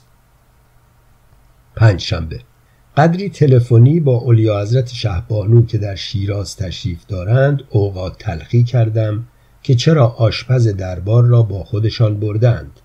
از حضورشان پرسیدم فکرش را کرده اید که اگر خدای نکرده زبانم لال اعلی حضرت یک قاشق از تاس کباب خودشان میچشیدند چه بلایی سر این ملک و ملت می آمد حالا من و سگ همایونی جان سگ داریم ولی شاه مملکت اگر دست پخت خودش را بخورد خوشا به حال دشمنان. اولیا حضرت فرمودند مگر مهمانی که قرار است برای اعلی حضرت بیاید آشپزی بلد نیست؟ گفتم خط خراب است. گوشی را گذاشتم. ظاهرا تنها کسی که از گردش رفتنهای اعلی حضرت خبر ندارد خاج حافظ شیرازی است که آن را هم لابد شهبانو الان که در شیراز تشریف دارند به اطلاعش میرسانند. سه شنبه. با ولی نعمت خودم پینگ پونگ بازی کردم. هرچه توپ می‌زدند محض ادب نمی گرفتم آخر سر فرمودند اقلا یکیش را بگیر تا من مطمئن شوم دارم با یک نفر بازی می کنم. توپ اول را که گرفتم بازی را تمام کردند. فرمودند دیگر بیمزه شد. شب منزل شاپور غلامرضا شام دعوت داشتند. خیلی اصرار کردند تو هم بیا. من میل نداشتم. فرمودند بیا که من تنها نباشم. بالاخره قبول کردم. عرض کردم چه ساعتی آنجا باشم؟ فرمودند بین هفت و هشت برو بگو اعلی حضرت حالشان خوش نبود تشریف نیاوردند. یک شنبه. امروز پادشاه بزرگ خود را تنها گذاشتم و قدری با دوست انگلیسی خودم تنها ماندم. اگرچه که ولی نعمت عزیز من همه هوایج مرا در زندگی برآورده می کنند ولی بعضی مسائل هست که مرا وامی دارد با دوست خودم تنها باشم. خیلی اسب سواری و شنا کردی. دختر خیلی زیبایی است. در شنا هم خیلی مهارت دارد. یک مقدار آب استخر داد من خوردم. هرچه از دوست می‌رسد نیکوست. دو ساعت هم کوهنوردی کردیم. بعد هم در آپارتمانش خیلی خسته شدم. شب که به خانه رسیدم خانم علم شروع کرد غر زدن. هیچ ملاحظه خستگی من را نکرد. این زنها همین طورند موقع خواب هم گفت چرا عرقگیرت پشت روست؟ صبح که درست تنت کردی. داد زدم گفتم خانم این را از وقتی خریدم همینطور پشت رو بود. بیچاره خوابید اما قانع نشده بود. دوشنبه. صبح شرفیاب شدم. سر صبحانه تشریف داشتند. اوقاتشان تلخ بود. تخم مرغ اصلی خواسته بودند سفت شده بود. فرمودند توی این مملکت شاه مملکت یک تخم مرغ اصلی نمی‌تواند بخورد. عرض کردم قربان باید مرغها را آموزش بدهیم که خودشان مخصوص اعلی حضرت تخم اصلی بگذارند. شاهنشاه خیلی خندیدند. فرمودند آره اما کم کم که خندهشان تمام شد دیدم انگار دارند عصبانی می‌شوند از حرف من. خاک عالم بر سر من که بخواهم پادشاه عزیز خود را دست بیندازم سریع موضوع را عوض کردم و بردم به جایی که شاهنشاه دوست دارند. گفتم قربان این دوستی که دیروز پیش من بود یک خواهر دارد. انگشت های خود را جمع کردم گذاشتم روی لبم بوسیدم. نزدیک بود علا حضرت هم بلند شوند انگشت های مرا ببوسند. با عجله تخم مرغ سفت را مثل اصلی میل فرمودند و پرسیدند کجاست؟ عرض کردم ترتیبش را می‌دهم. با عجله آمدم به دوستم تلفن زدم پرسیدم خواهر داری؟ گفت نه. گفتم نه و زهر مار. من به اعلی قول دادم. گفت ندارم. فقط دوتا برادر دارم در لندن. گفتم خاک بر سرت با برادرهات. زد زیر گریه. گفتم خودت باید نقش خواهرت را بازی کنی. ترتیبات را دادم. سهشنبه سر صبحانه شرفیاب شدم. تخم مرغ اصلی میل میفرمودند. خوشحال بودند. فرمودند عجب خواهری داشت طرف. دیشب پادشاه برای این مملکت باقی نگذاشت. گفتم خدا آن روز را نیاورد که پادشاه در این مملکت نباشد. فرمودند آخوندها میآیند همه اینها را برای خودشان سیغه می کنند آن وقت یک داعش می آید ترتیب خود آخوندها را می دهد من دیشب خواب دیدم. از حرفهای شاهنشاه عزیز نگران شدم. خیال کردم خدای نکرده مغزشان پریشان شده باشد. مبادا دخترک چیز خورشان کرده باشد. با احتیاط پرسیدم قربان دیشب طرف چیزی هم داد میل بفرمایید؟ فرمودند دیگر وارد جزئیات نشو. دهن مبارک آب افتاده بود. چهارشنبه. امروز اعلی حضرت شش تا تانک از انگلیس ها خریدند با یک امضا. سفیر انگلیس با دومش گردو می شکست گفت پادشاه شما is very very kind. خواستم بگویم because اون دختر انگلیسیه was very very generous. یعنی سخاوتمند. پنجشنبه. و عرضشان رساندم سرکار علیه فرید خانم دوست دارد برود یک جایی سخنرانی کند. فرمودند این درویش خانم چه دارد بگوید؟ عرض کردم بالاخره مادر اولیا حضرت شهبانو هستند. باید یک ترتیبی برایشان داد. مدتی فکر فرمودند. بعد فرمودند بفرستش انجمن کرولال ها کنفرانس بدهد. آنها هم مثل خودش نمی‌فهمند چه می‌گوید. همین کار را کردم. بعدا فرید خانم تلفن کرد تشکر کرد. خیلی راضی بود. می گفت بعد از سخنرانی خیلی برای او کف زدند خواستم بگویم کف را باید برای پادشاه بزرگ ما می‌زدند که اینقدر باهوش و کاردان است. جمعه. امروز اعلی حضرت زیر دوش متوجه شده بودند آب لوله کشی تهران زیادی بوی کلور می‌دهد. خدمتشان عرض کردم چون سیستم لوله کشی آب دربار در حال تعمیر است چند روزی وصلش کرده این به لوله کشی شهر. فرمودند داشتم خفه می شدم. عرض کردم خدا آن روز را نیاورد قربان. فرمودند ولی اینجوری خوب است. باعث می شود مردم در مصرف آب صرف جویی کنند. در دل آفرین گفتم به چنین پادشاهی که اینقدر باهوش و وطن دوست است. در راه خوشخدمتی عرض کردم قربان لوله کشی دربار که درست شد دستور می دهم کلور آب تهران را اضافه کنند. شنبه. وضع دنیا خیلی پریشان است. آمریکا گرفتاری مالی دارد و شوروی نمی‌داند زباله های اتمی را چه کار کند.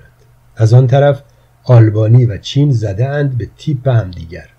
فرانسه گیر داده به ورسه سیاسی دوگل خاور میانه هم که قوز بالا قوز شده. خدمت اعلی حضرت عرض کردم کاش فرصت داشتید یک توکپا تشریف می بردید سازمان ملل با یک سخنرانی به انگلیسی و فرانسه وضع همه کشورها را رو به راه می کردید برمیگشتید.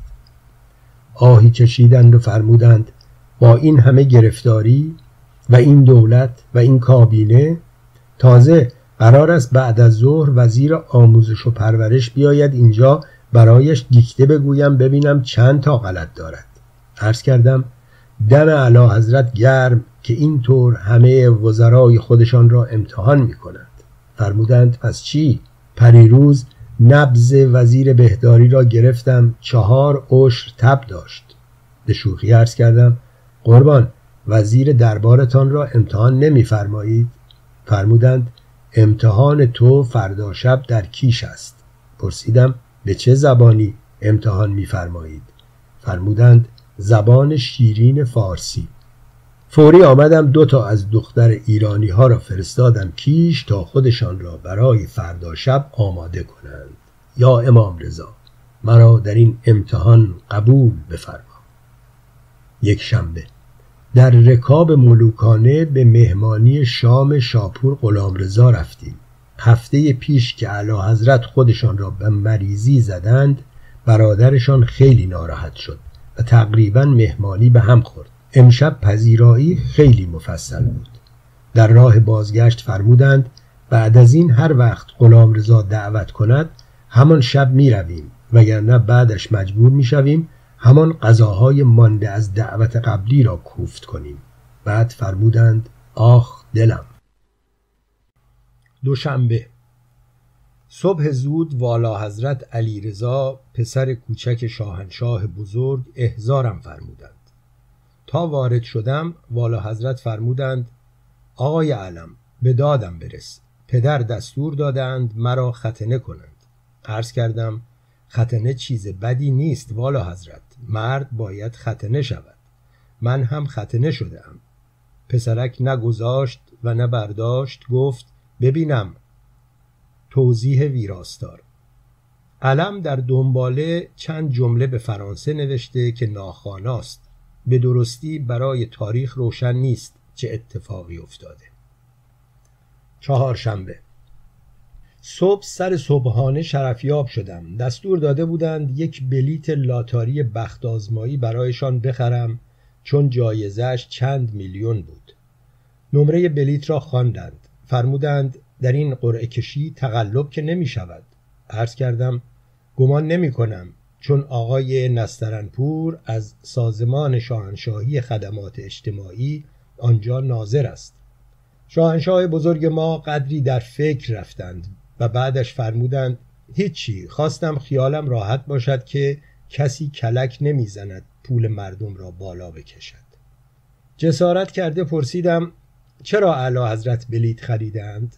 فرمودند دوست دارم برنده شوم بروم آنجا مستجاب و دعوه با هم مصاحبه کند. بعد خنده فرمودند فهمیدم شوخی میفرمایند. در این حال شانس خودشان را هم امتحان میفرمایند. تا غروب برای برنده شدن شاهنشاه بزرگمان دعا می کردم ولی اثر نکرد. بعد از قرعه کشی به امر ملوکانه رئیس اعانه ملی و سازمان شاهنشاهی خدمات اجتماعی را شبانه از کار برکنار کردم. باورشان نمی‌شد. پنج شنبه صبح قبل از صبحانه شرفیاب شدم. فرمودند ملکه زیبایی تانزانیا را ناشتا به فرودگاه مشایعت کنم. ظاهرا اولیا حضرت شهبانو یک چیزهایی بو برده بودند. در راه فرودگاه دخترک خیلی از پادشاه بزرگ ما تعریف کرد. به او گفتم ما ایرانی ها همه من همین جوریم. چه شاه چه گدا چه وزیر دربار. نزدیکی های فرودگاه از او پرسیدم سیاه ها که آدم های دهنلقی نیستند. گفت نه. از همانجا به فرودگاه بیسیم زدم. دو روز پروازش به تعویق بیفتد. این دو روز آینده خیلی گرفتار خواهم بود. جمعه. شرفیاب نشدم. به عرض مبارکشان رساندم. دو سه روز باید به امور کشاورزانی که از بیرجند میآیند رسیدگی کنم. فرمودند کار خوبی می‌کنی. بعد فرمودند به سفیرمان در تانزانیا بگو داری به امور زارعین می‌رسی که نگران تأخیر دخترک نباشد. هنوز نفهمیدم من چند نقطه تر هستم یا اعلی حضرت.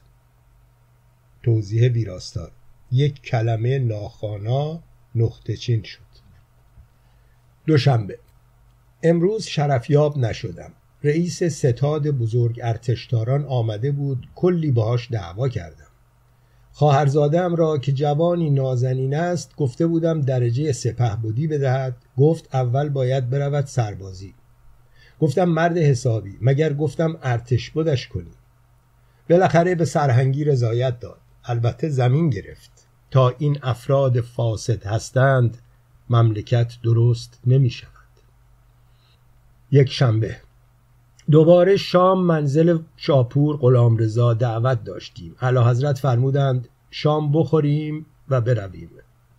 اولیا حضرت مخالفت کردند که آنها تهیه دیدند. شاهنشاه فرمودند حالا کار از محکمکاری عیب نمی کند. علم یک املتی هنوز شاهنشاه بزرگ املتی را کامل ادا نفرموده بودند که تخم مرغها توی دستم بود و داشتم می شکستم توی مایتابه. آدم باید فرز باشد. پادشاه ما ته نگفته من دست به تخم مرغها می شوم چه برسد که بفرمایند املت. اولیا حضرت شهبانو با دلخوری نگاه می کردند لب به املت نزدند. ولی شب که از مهمانی شاپور غلام رضا برمیگشتیم دستور دادند یک املت هم برای ایشان درست کنم. خوشمزه هم شده بود. شاهنشاه هم چند لغمه خوردند. فرمودند کاش شاپور غلام رضا را هم آورده بودیم یک شامی بخورد. پنج شنبه. بعد از نهار شرفیاب شدم.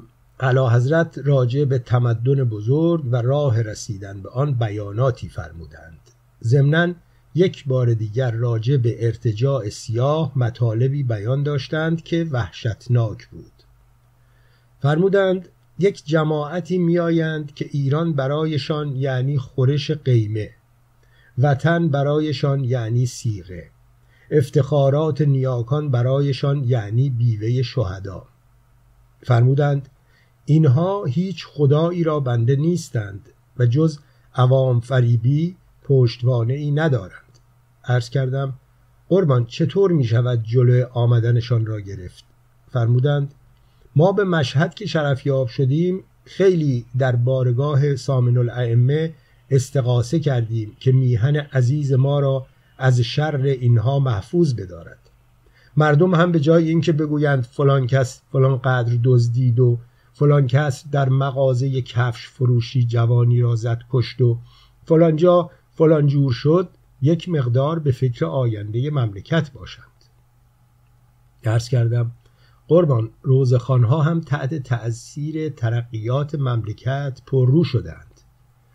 روزه حضرت عباس پنج تومن بود. تازه یارو یک ذکر مصیبت دو تفلان مسلم هم مجانی کنارش می‌خواند. الان روزه تنها را 25 تومن حساب می‌کنند. تازه حضرت ابوالفضلش هم مثل ابوالفضلهای سابق قبراق نیست.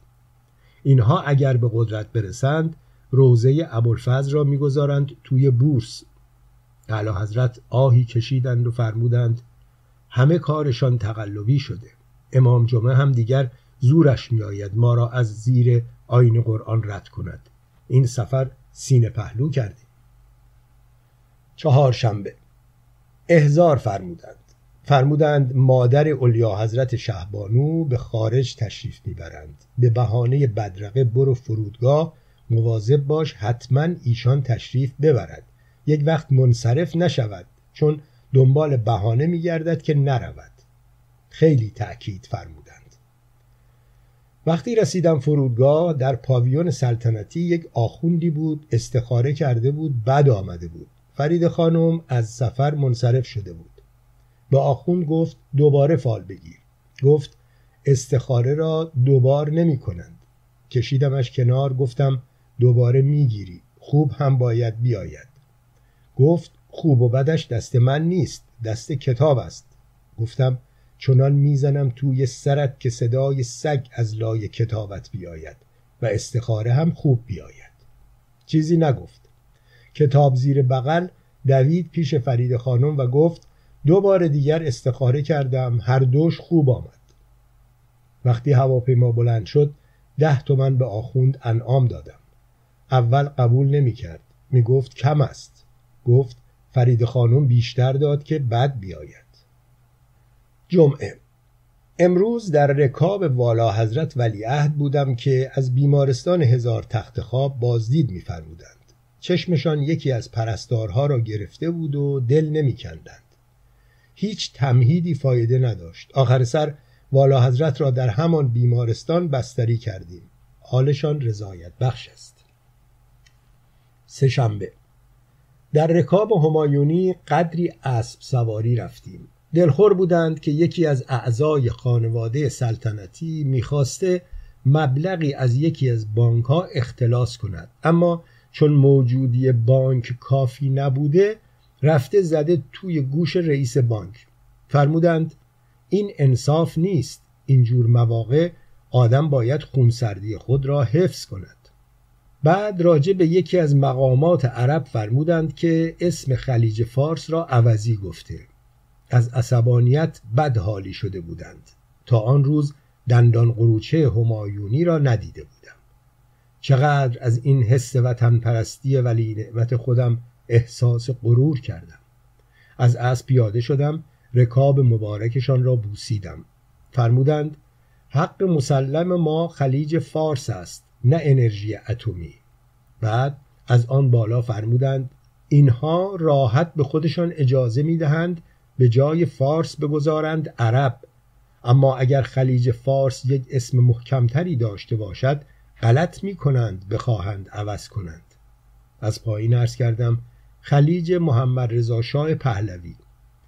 این را که گفتم پادشاه بزرگ ما از اسب پایین پریدند و فرمودند بزن قدش. یک شنبه. از ساواک خبر دادند که یک آخوندی را در قوم گرفتند که ادعای امام زمانی داشته. به عرض مبارک رساندم. فرمودند اگر دیوانه است بفرستندش تیمارستان. اگر حق باز است حبسش کنند. بعد فرمودند فقط بگو مواظب باشند یک وقت بیگناه نباشد. دوشنبه. امروز با شاهنشاه رفتیم گردش. علا حضرت زیاد گردش فرمودند. کمرشان درد گرفته بود. شهبانو انگار بو برده باشند پرسیدند چی شده؟ شاهنشاه فرمودند از اسب افتادیم.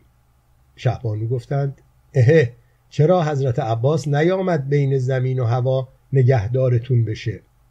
شاهنشاه با حاضر جوابی فرمودند ایشان حوزه مأموریتش امامزاده داوود است. توی شهر کار نمی کنند سهشنبه امروز در مورد سلام شاهنشاهی در سینما که اخیرا مردم زورشان میآید بلند شوند و صورت خوشی ندارد نمی‌دانم چه کسی گزارش به عرض رسانده بود که من تکذیب کردم و عرض کردم مردم تا ده دقیقه بعدش هم همینطور سر پا می ایستند و کنترلچی ها به زور آنها را می نشانند. شاهنشاه با هوش ذاتی فهمیدند من مزخرف می‌گویم. فوری عرض کردم شاید لازم باشد سندلی های سالن را جمع کنند و بعد از پخش سلام شاهنشاهی در اختیار مردم بگذارند.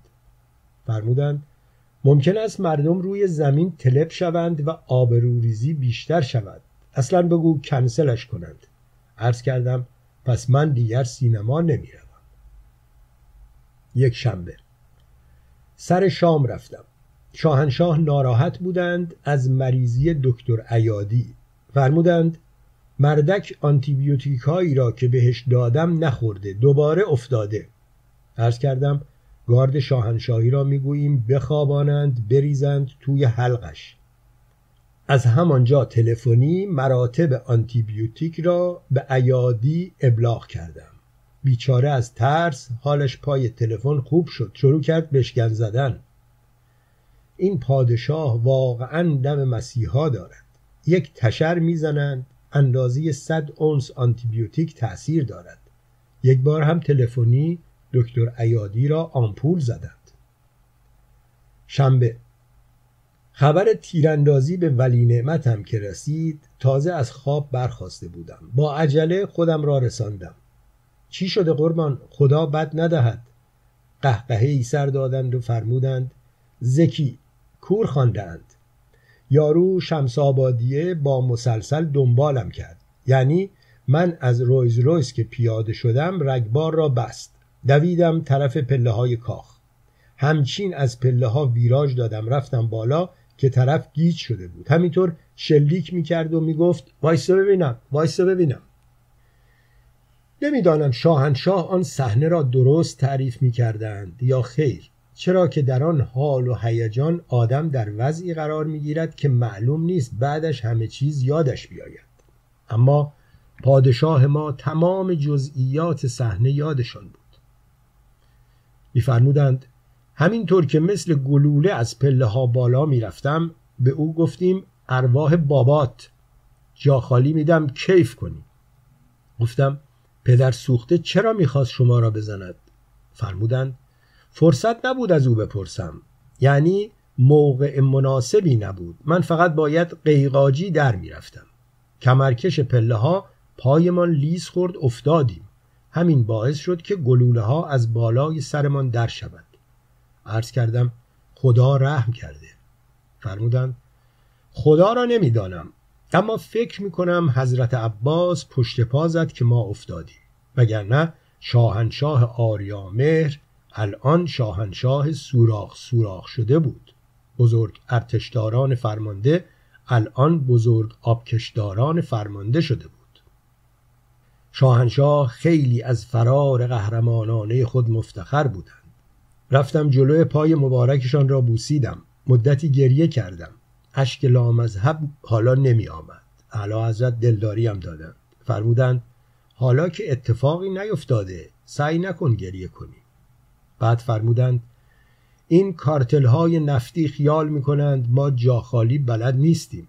ما همانطور که به اوریانا فالاچی گفتیم از بچگی نظر کرده ایم همان آقای نورانی که برایش گفتیم یک بار در شش سالگی ما را نجات داد. این بار هم این پسره قاتل را به تیر قید گرفتار کرد. وقتی از حضور ملوکانه مرخص شدم توی پله ها تیمسار نصیری یک درجه دار گارد را که آنجا بود به من معرفی کرد و مورد تشویق قرار داد. معلوم شد تیرهای غیب را او به رضا شمس آبادی زده.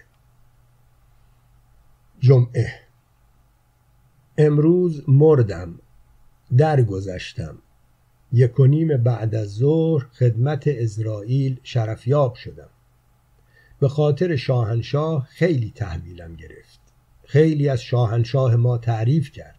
گفت دو سال و نیم دیگر خدمت ملوکانه شرفیاب می شود الان 25 فروردین 57 است و قرار است فردا مرا به ایران ببرند. خدا مرا بیامرزد. نیامرزید هم نیامرزید.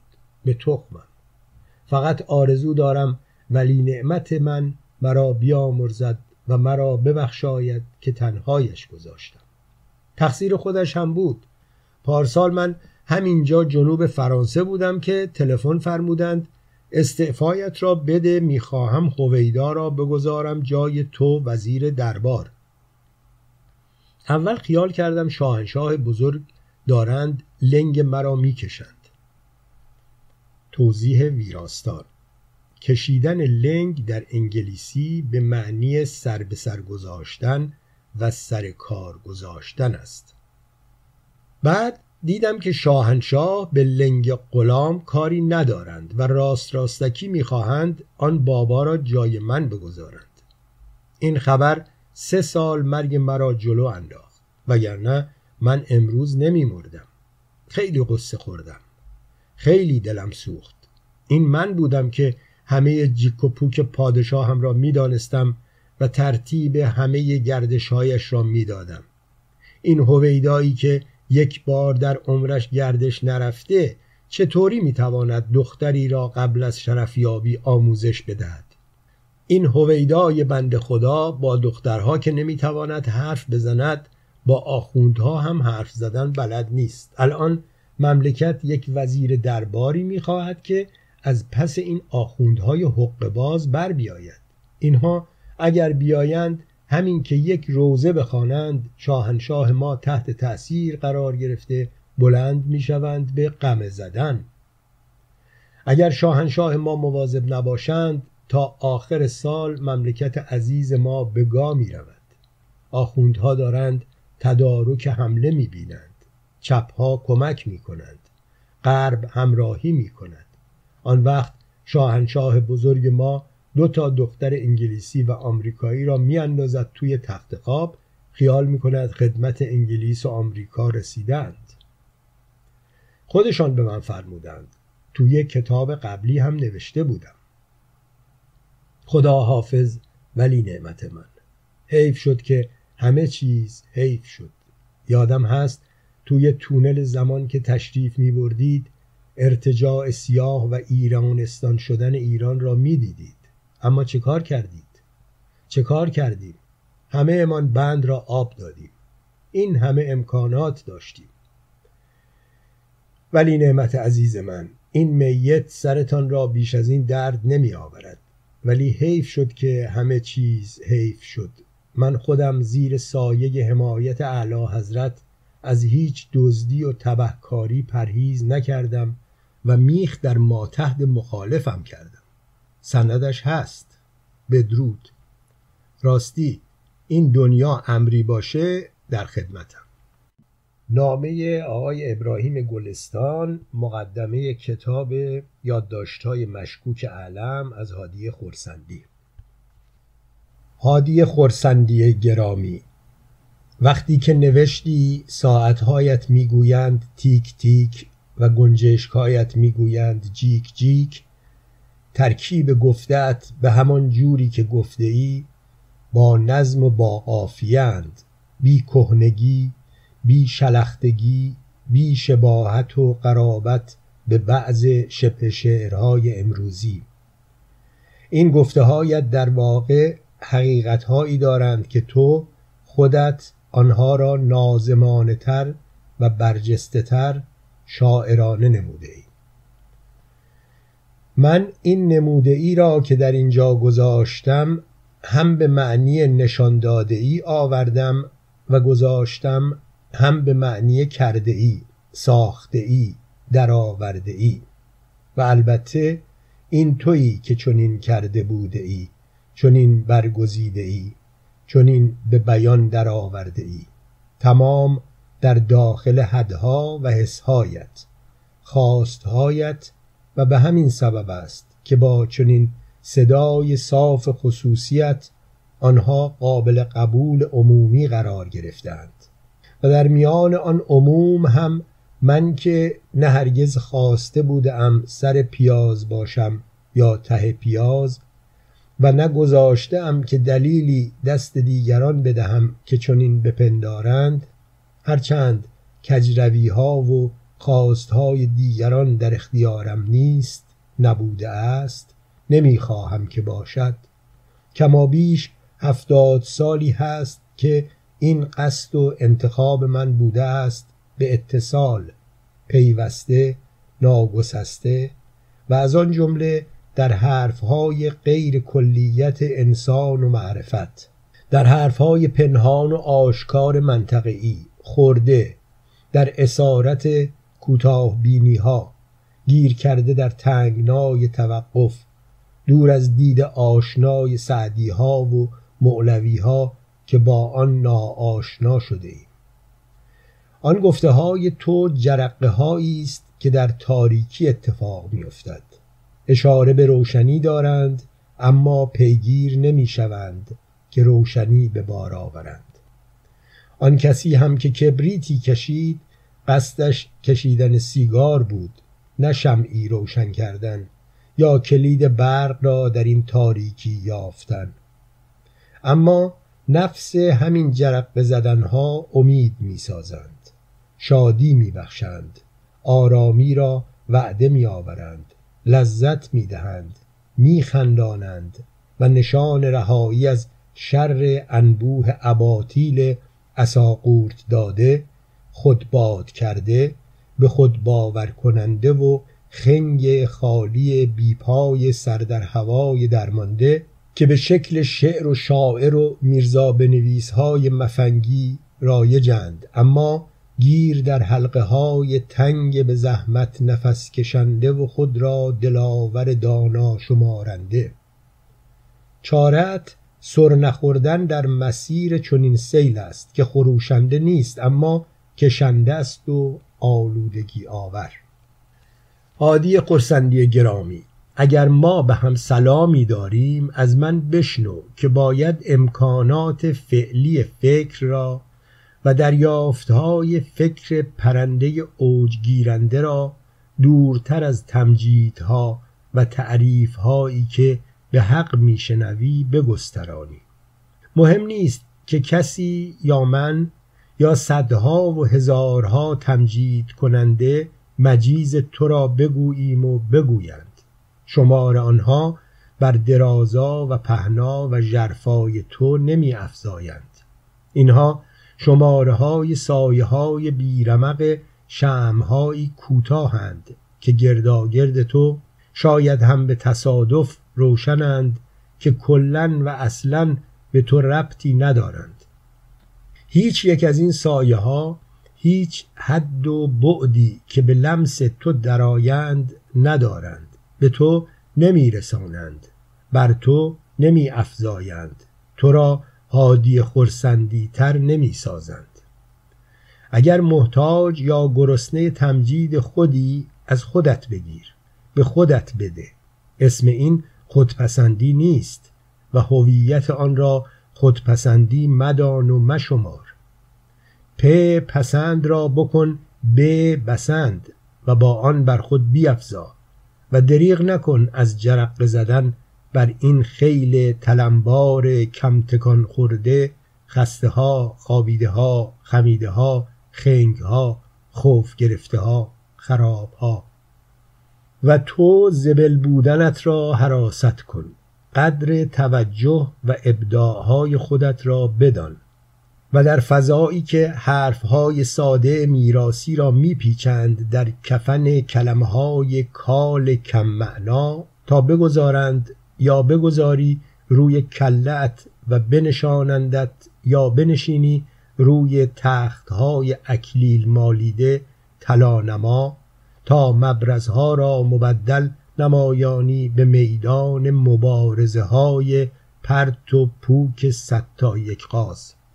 راستی را بجوی. درستی را در نظر داشته باش و بشناس و بگو. فقط درستی را به راستی بگو. اینها نصیحت نیست پیشنهاد است. در عین اعتقاد به اینکه تو توانی داری که باید نگهداری شود به کار بیاید. اما درباره این کار تو در موضوع کتاب یادداشت‌های علم.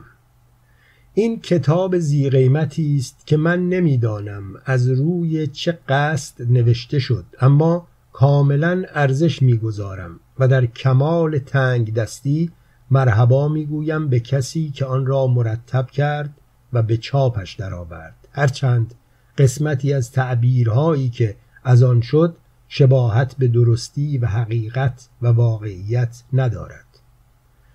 خلاصه کردن تمام آن کتاب به صحنه های همخوابگی های آدم اول آن کتاب به کلی مخلوط کردن به قصد نیش زدن و دهانکجی است بی توجه به آنچه که مجموعا شده است و بوده است. ذهنهای ما پر است از یادگار عکس هایی که شاه را نمایش می‌دادند و می‌دهند و نقل قول هایی که از شاه می‌گفتند درباره اعتقاد راسخ او به عقاید اسلامی هرچند شاید از نوع دیگر. حذف این یادگارهای عکسی و نقل قولی از ذهن از میان بردن بعدهای لازم در شناخت کسی یا در واقع در شناخت کسانی است که در طی نود و چند سال گذشته سازنده بودند و همچنین گاهی به ناچار گاهی به ناتوانی گاهی به پیش گرفتن راهی غلط یا به اشتباه کشاننده به وقت شناختن و شناساندن و داوری اجتماعی و تاریخ چیزی که در راه انسان بودن و انسان بهتر شدن خلاف و مطلقا پرهیز کردنی است. برگردیم به عکس ها آیا ما شاه را بارها در حال قنوت نه رو به کعبه بلکه پیش خود کعبه در خود خانه کعبه ندیده ایم؟ آیا تصویرهای شاه را بارها در حال زیارت از مرقد امامهای شیعه ندیده ایم؟ آیا بارها اعترافات او را از آنچه در خواب و بیداری دیده است صرف نظر از تحلیل های یونگی یا فرویدی آن نشنیده ایم و اینکه بعد از آن رؤیاها چگونه در برابر آن داده های روانی و شاید قابل تحلیل های کلینیکی رفتار کرده است. در عمل رفتار کرده است در حالی که به هر مخالفی بد گفته است و ضد هر مخالفی که فکر می کرده داشته است به شدیدترین وضع رفتار نکرده بوده است. و در عین این احوال پیوسته به هر گوشه از دین به شدت جانبداری نکرده است. اثر تمام آن عکس ها و آن موردها تمام آن گفته ها و عملکردها را دروغ بخوانیم که کاری ساده و ممکن است. اما آیا نمی شود عین آن گفته ها و عملکردهای او را در دیگران هم دید؟ آیا اگر اینها به دروغ گفته شده است همین دروغ را کسان دیگر نمی گفتند و نباید فکر کرد که آنها هم می شود گفته باشند؟ وقتی که می شود به همین سادگی بامبول مذهبی زد. آیا می شود در یک استنباط جاهلانه اولیای آسمانها را فریفت و خواب کرد و خود و دیگران را به بیهوده فریب داد؟ آیا زنا و تعدد زوجات را با یک بیان انحکت و زوجت نمی شود حلال کرد؟ کسی چه می داند که وقتی آن ستاره سینما را با هواپیما برای او آوردند و او برهنه در تخت خواب شاه خوابید. شاه همان فرمول انحکت و زوجتو را پیش از دخول نخواند و خود را از زنا تبرئه نکرد. نه تو نه من نه مرحوم علم نه هیچ ویراستار و ناشر کتاب در آن اتاق. در آن اتاقها در دفعه های مکرر نبودیم که بتوانیم به زرس قاطع بگوییم که نگفت. من نبودم که بگویم یا نگویم اما می‌دانم و دست کم شنیدم که خواندن آن فرمول که نمی‌دانم ساخته کیست نمی‌دانم پیش کدام خدا پذیرفته است یا نیست یا کدام فرشته هایی که روی شانه های راست و چپ آدم ها نشستند قصد دل او را یادداشت کردند یا نکردند. مسئله تبرعه شاه نیست. مسئله برگزیدن یکی از خطاهای او نیست. من این یکی را که به کلی جداست از مجموع خطاهای شاه جدا می کنم. چون در بیان کارهای او این یکی اصلا مطرح نیست. من تأسف بسیار دارم از چند کار نابابی که کرد و می‌شد نکند یا جور دیگری واکنش نشان دهد. من فکر می کنم و حق دارم به عنوان یک ایرانی در این باره فکر کنم. هادی گرامی من بیهوده روی سازی که درست کوک ندارد ننواز لحن تبسم آور تو ربطی به رفتار او از این قبیل ندارد. بگو که این آدم سخت مشتاق تعالی کشوری بود که باید درست ادارهش می کرد. اما سایه خشونت پدر با همه عشق و امیدی که به این پسرش داشت نگذاشت او رشدی مستقل و دور از فکر تقلید و پیروی از پدر پیدا کند. اوضاع زمانه هم به نوع آن رشد کمک کرد و او در تنهایی به حدی که در حیطه خاص خودش میسر بود و زیر تأثیر محیطی که برایش فراهم شد و خودش در آن فراهم شدن سهم کنجکاو و مجبور و مشروط داشت رشد کرد همچنان که عوامل حاصل حد و حال و روحیه و رشد دیگران و محیط در همان دیگران و محیط اثر گذاشت. این را سرنوشت نگو و نخوان. این حاصل جمع در پایان است که پیش از رسیدن پایان باید کم و بیش شود. تغییر پذیرد و در این تغییر طرحی باشد که روی آن فکر شده باشد و صورت پذیرد.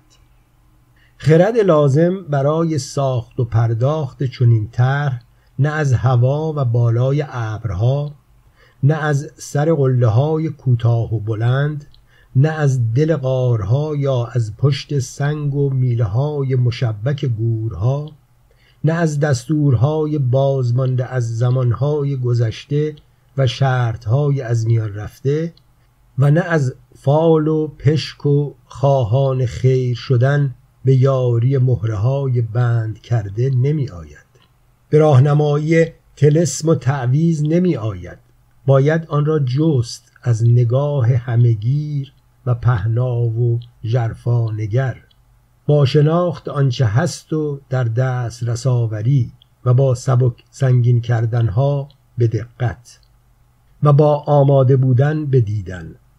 دیدن آماده بودن می‌خواهد. دیدن و آماده بودن نیاز دارد به شک کردن. شک نه از روی لج بلکه برای بهتر وارسی کردن تا بهتر شناختن همراه با نگاهی به آنچه در پیش گذشته است نه به تقلید یا تکرار بلکه برای قیاس تا بهتر سنجیدن. در زمینه همان شک و همه این مراحل به حسب نگاه باز ندیدی از پیش قفل شده بسته در بندهای رسم و عادت. همه تا آن حد توان و توجه و کوشش همه سنجیده نفرمایشی تعلل و تقافل در این زمینه هاست که میرساندت به پایانهای ناخواسته ناچار. ابراهیم گلستان 20 ژانویه 2018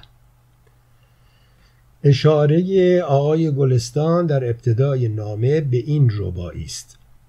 گنجشک به روی شاخه جیک جیک جیک جیک ساعت به سر تاخچه تیک تیک تیک تیک.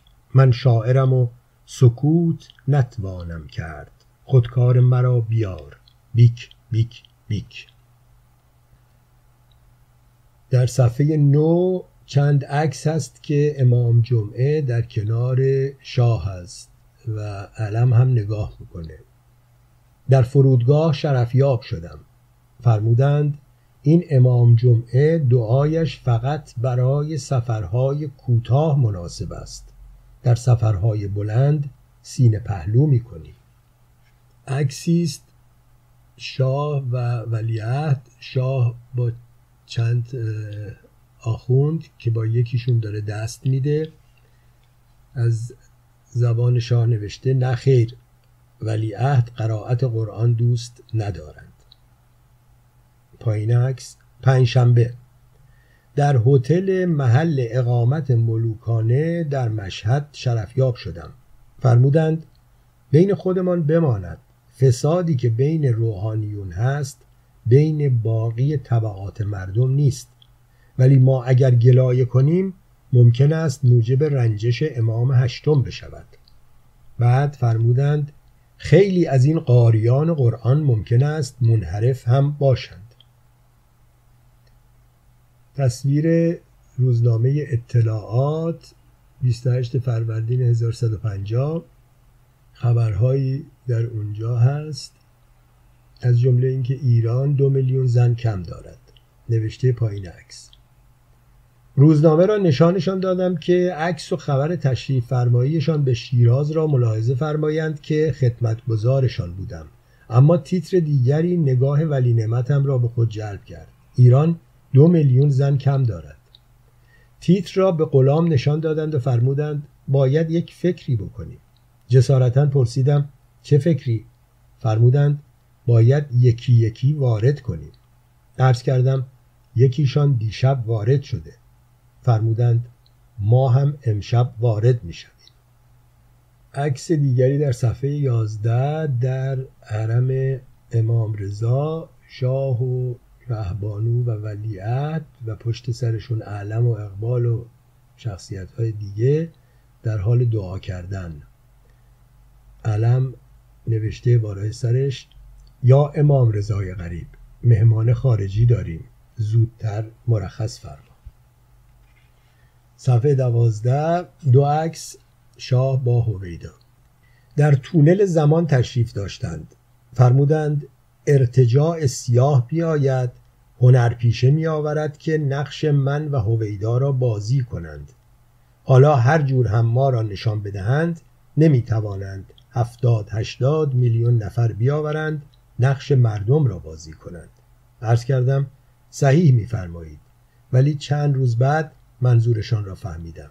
شاید هم هنوز نفهمیده باشم.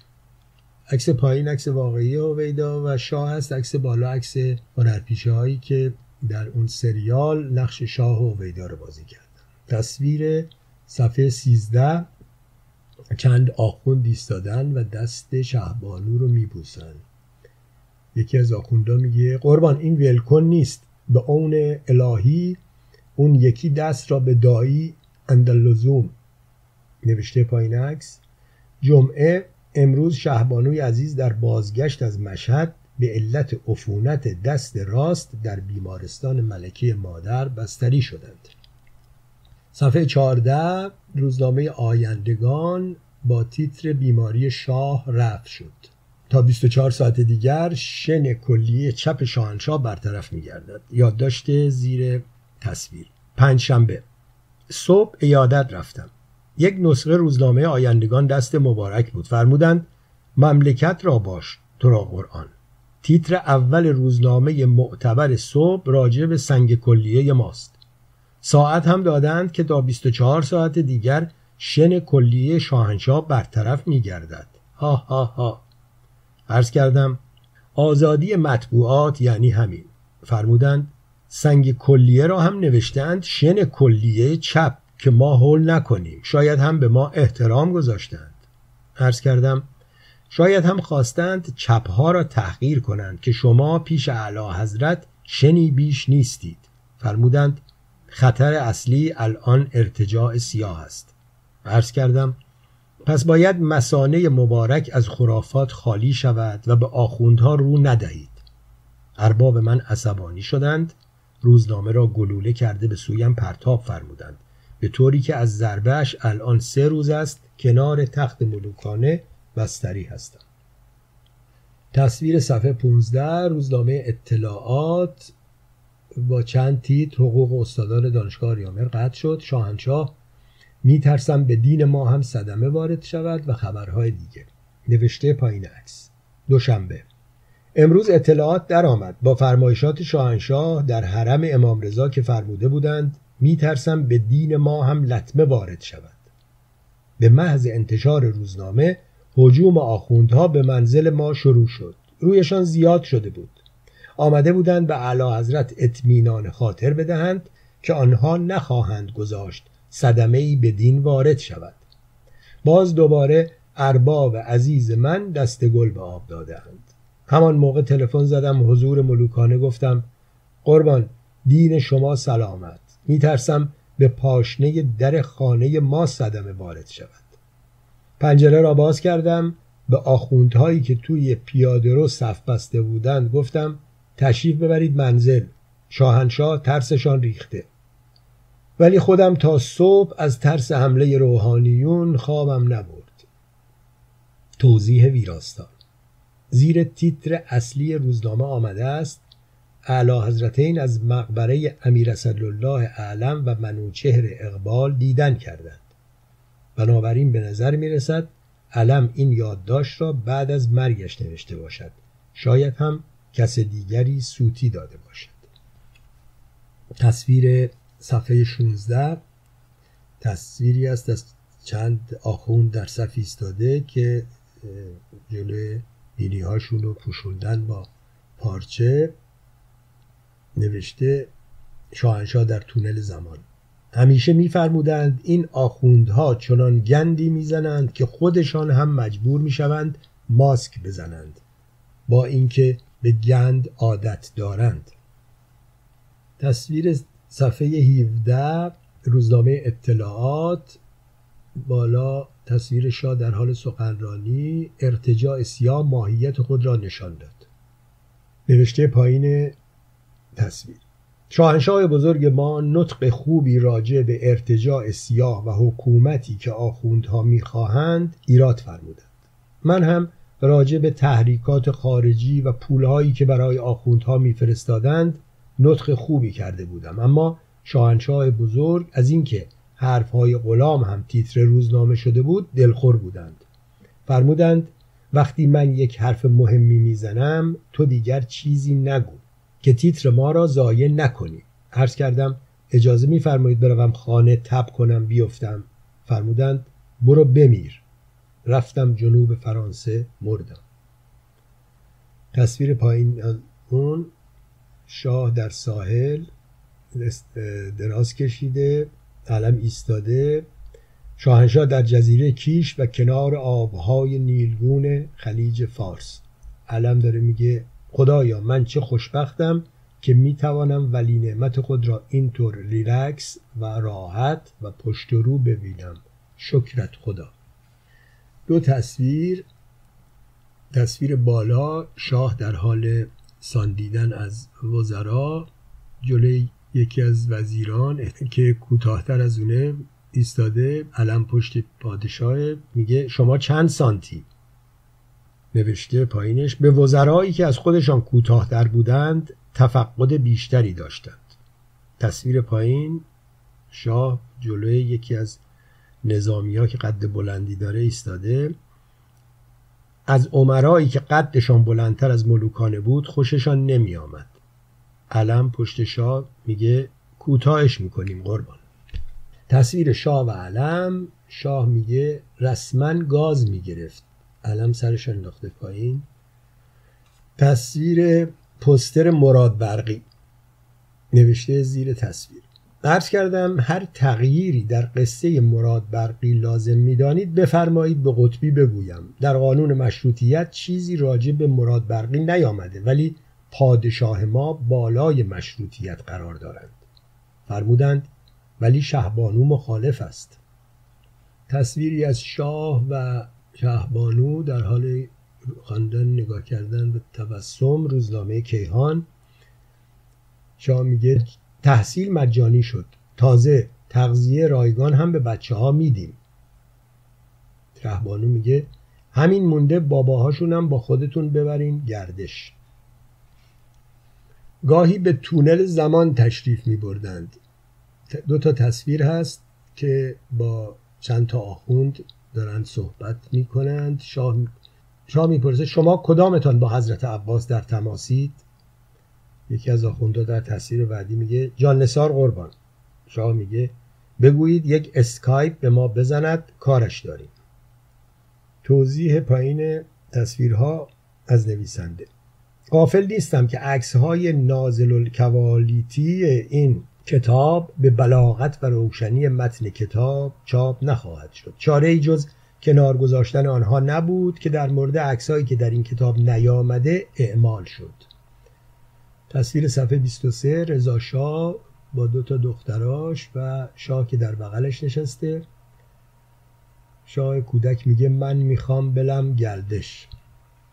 تصویر صفحه 24 شاه در حال تاجگذاری روی سر ملکه علم ایستاده میگه پایینش نوشته من ولی من و ولی نعمتم گاهی در سکوت با هم حرف می‌زنیم. علم میگه قربان مهمان ملوکانه وارد شده منتظره. شاه می‌بینی که دستم بنده. تصویر شاه در حال صحبت با اردشیر زاهدی علم پشت سرشون ایستاده نگاه می‌کنه. هر وقت اردشیر با شاهنشاه حرف می‌زد من کنار میکشیدم و هرس میخوردم. به هزار و یک دلیل و چند سانتیمتر. او همیشه از من بلندتر بود. تصویر شاه با لباس ساده کنار خانم پری عباسلتی خانم پری عباسلتی سردبیر مجله اطلاعات بانوان تهران و راه زندگی لس آنجلس در یک مصاحبه تابستانی با محمد رضا شاه رامسر. شاه میگه یادداشت‌های علم و یادداشت‌های هادی خورسندی در مجله شما بدجوری قاطی شده. اینقدر از آزادی مطبوعات سوء استفاده نکنید. یکی دو تصویر در پایان کتاب هست. شاه در مقابل چند آخوند صفحه 205 لبخند زنان بالاخره با پای چپ یا با پای راست. توضیح پایین. شاهنشاه بزرگ همواره مسائل فقهی خصوصا آداب تخلی را از روحانیت مبارز استفتا میفرمودند. تصویر پایین همیشه بهداشت را رعایت میفرمودند. شاه دستش رو سینش گذاشته جلوی آخوندها. دست نه فقط تعظیم. یکی از آخوندها داره تعظیم می‌کنه. صفحه 206 که آخرین یادداشت علم هست جمعه امروز مردم عکس اسدالله علم درگذشت از روزنامه و در صفحه بعد 207 شاه میگه از همین فرشته ها هوری ها فرقی نمی‌کنه. علم کنارش ایستاده به آقای گلستان چیزی نفرمایید. قربان.